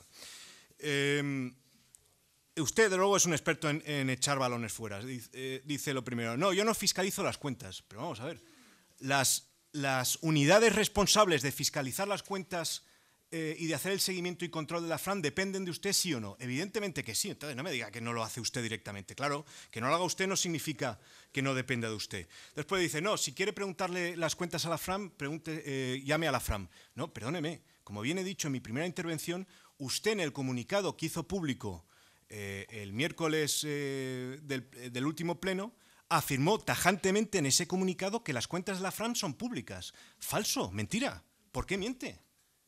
Por eso le pido explicaciones a usted y por eso no le estoy pidiendo explicaciones a la FRAM. Le pido explicaciones a usted como responsable de haber dicho que las cuentas de la FRAM son públicas. Falso, no son, no son em, públicas y usted eh, no entiendo por qué mintió al respecto.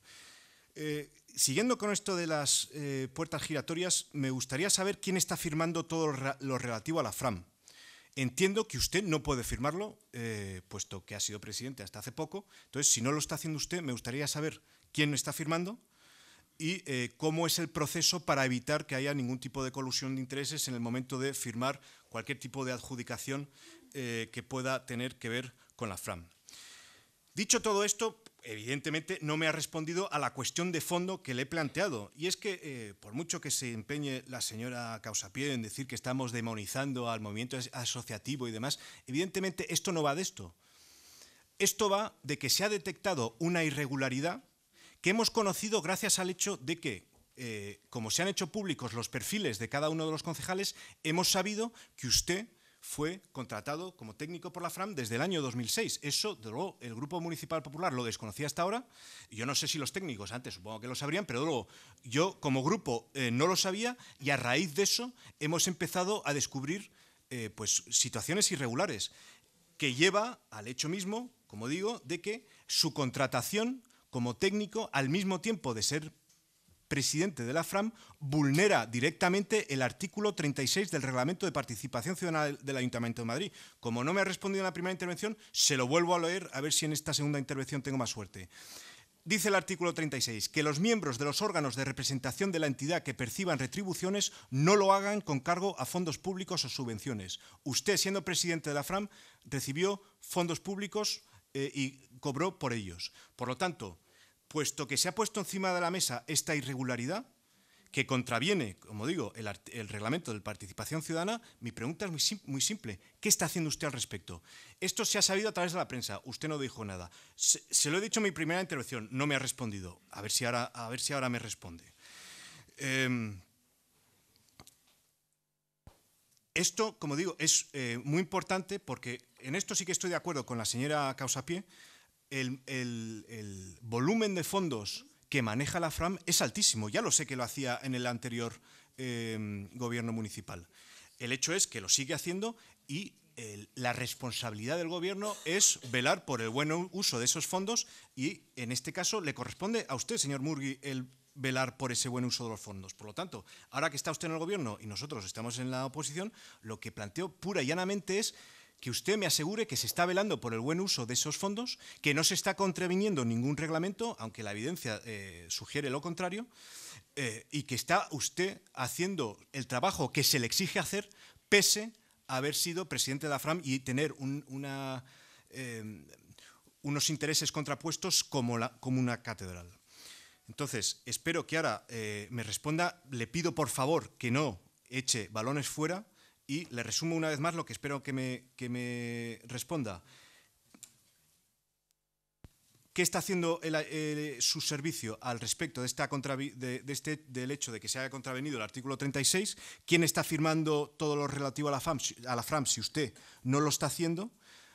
Y en general qué seguimiento se está haciendo a las justificaciones de la FRAM. Nada más y muchas gracias. Y bueno, y por supuesto, ¿por qué mintió usted diciendo que la auditoría, perdón, que, que las cuentas de la FRAM eran públicas cuando no son públicas? Muchas gracias, señor Manglano. Tiene la palabra el delegado del área, Nacho Murgui, para su segundo turno. Diez minutos. Muy bien, muchas gracias. Gracias por, por sus preguntas y por aclararme de esta manera tan, tan contundente a qué se refiere en concreto. Eh, bueno, voy a empezar por el final. Eh, no solo estoy sentado al lado del de transparencia, sino que además estoy sentado al lado del de Vallecas. Lo cual equilibra bastante. Eh, las agendas se publican hasta, hasta 15 días después del día, o sea que le hace usted pues cómo funciona esto y así se aclararán muchas dudas. Y de paso ya revise la suya. Em, que no estén en la web las cuentas de la federación no significa que no sean públicas. ¿Se encuentra bien, señor Manglano?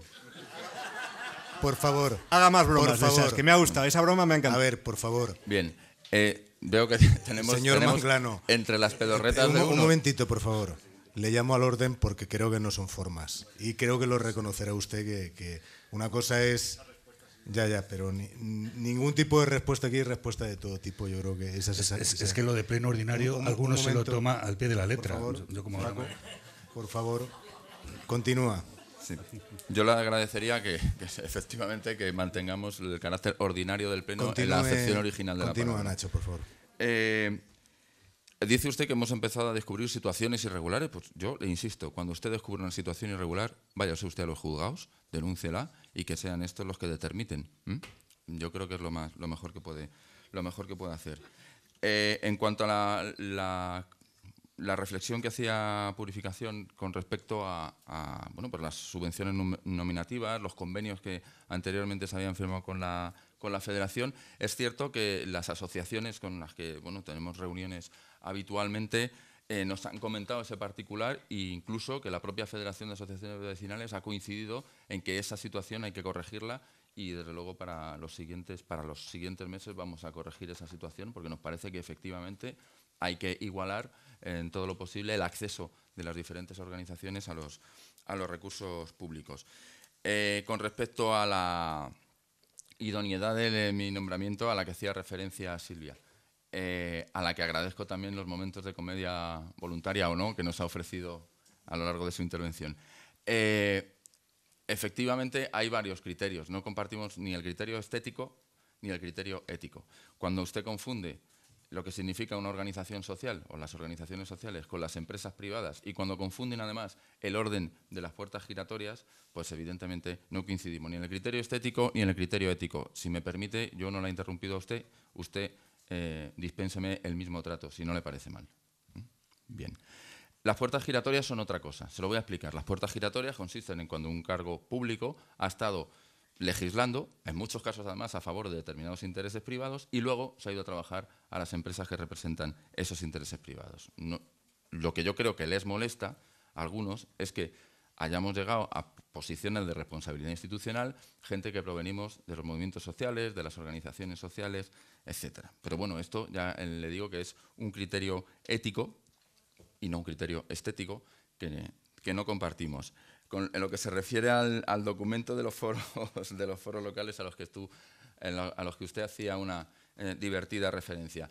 Lo que está usted manejando es un borrador, estamos discutiéndolo con las entidades ciudadanas también, y bueno, pues habrá partes que continúen y partes que no continúen. La referencia que hacía usted al lenguaje de signos, el lenguaje de signos creo que es un lenguaje que tiene sus ventajas, no sé si usted eh, puede mm, se hace una idea de cuáles son, pero bueno, en, todo caso es un lenguaje que los propios movimientos ciudadanos han adoptado para mm, mejorar la comunicación en determinados procesos asamblearios y que, bueno, se puede adoptar o no. Yo, de todas formas, acepto la crítica, la apunto y, si, ese es un elemento que haya que corregir, que porque sea eh, fundamental en el, desarrollo del, reglamento de los foros locales, pues, mm, pues habrá que discutirlo, si se asume o no, y, si, el lenguaje de signos es el más apropiado o no.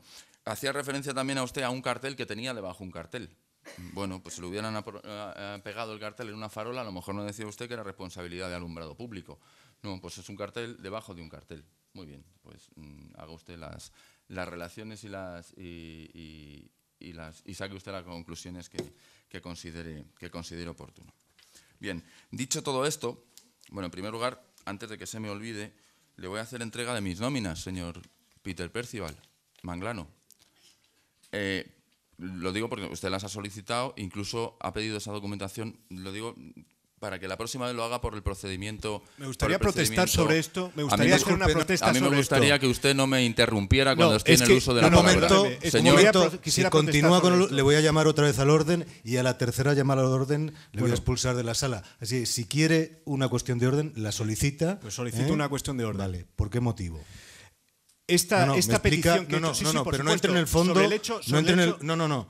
¿Por qué motivo solicita la cuestión de orden? Solicito una cuestión de orden porque esa, esa documentación que me entrega ahora el señor Murgui la pedí a un nivel técnico. Bueno, no hay ninguna eso no razón es una para cuestión, que pasase, Perdone, perdone pero eso no es una cuestión de orden.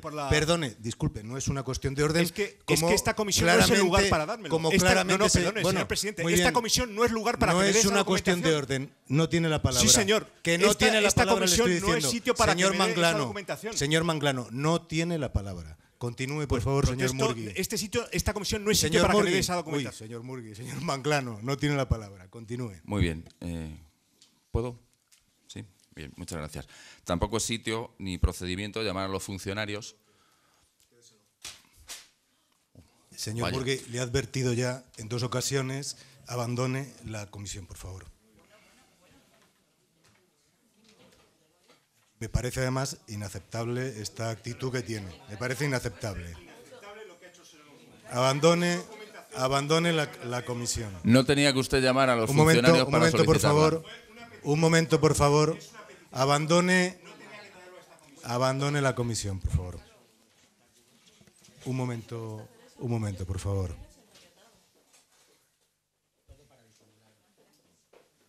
Vamos a esperar un momento que abandonen en la comisión.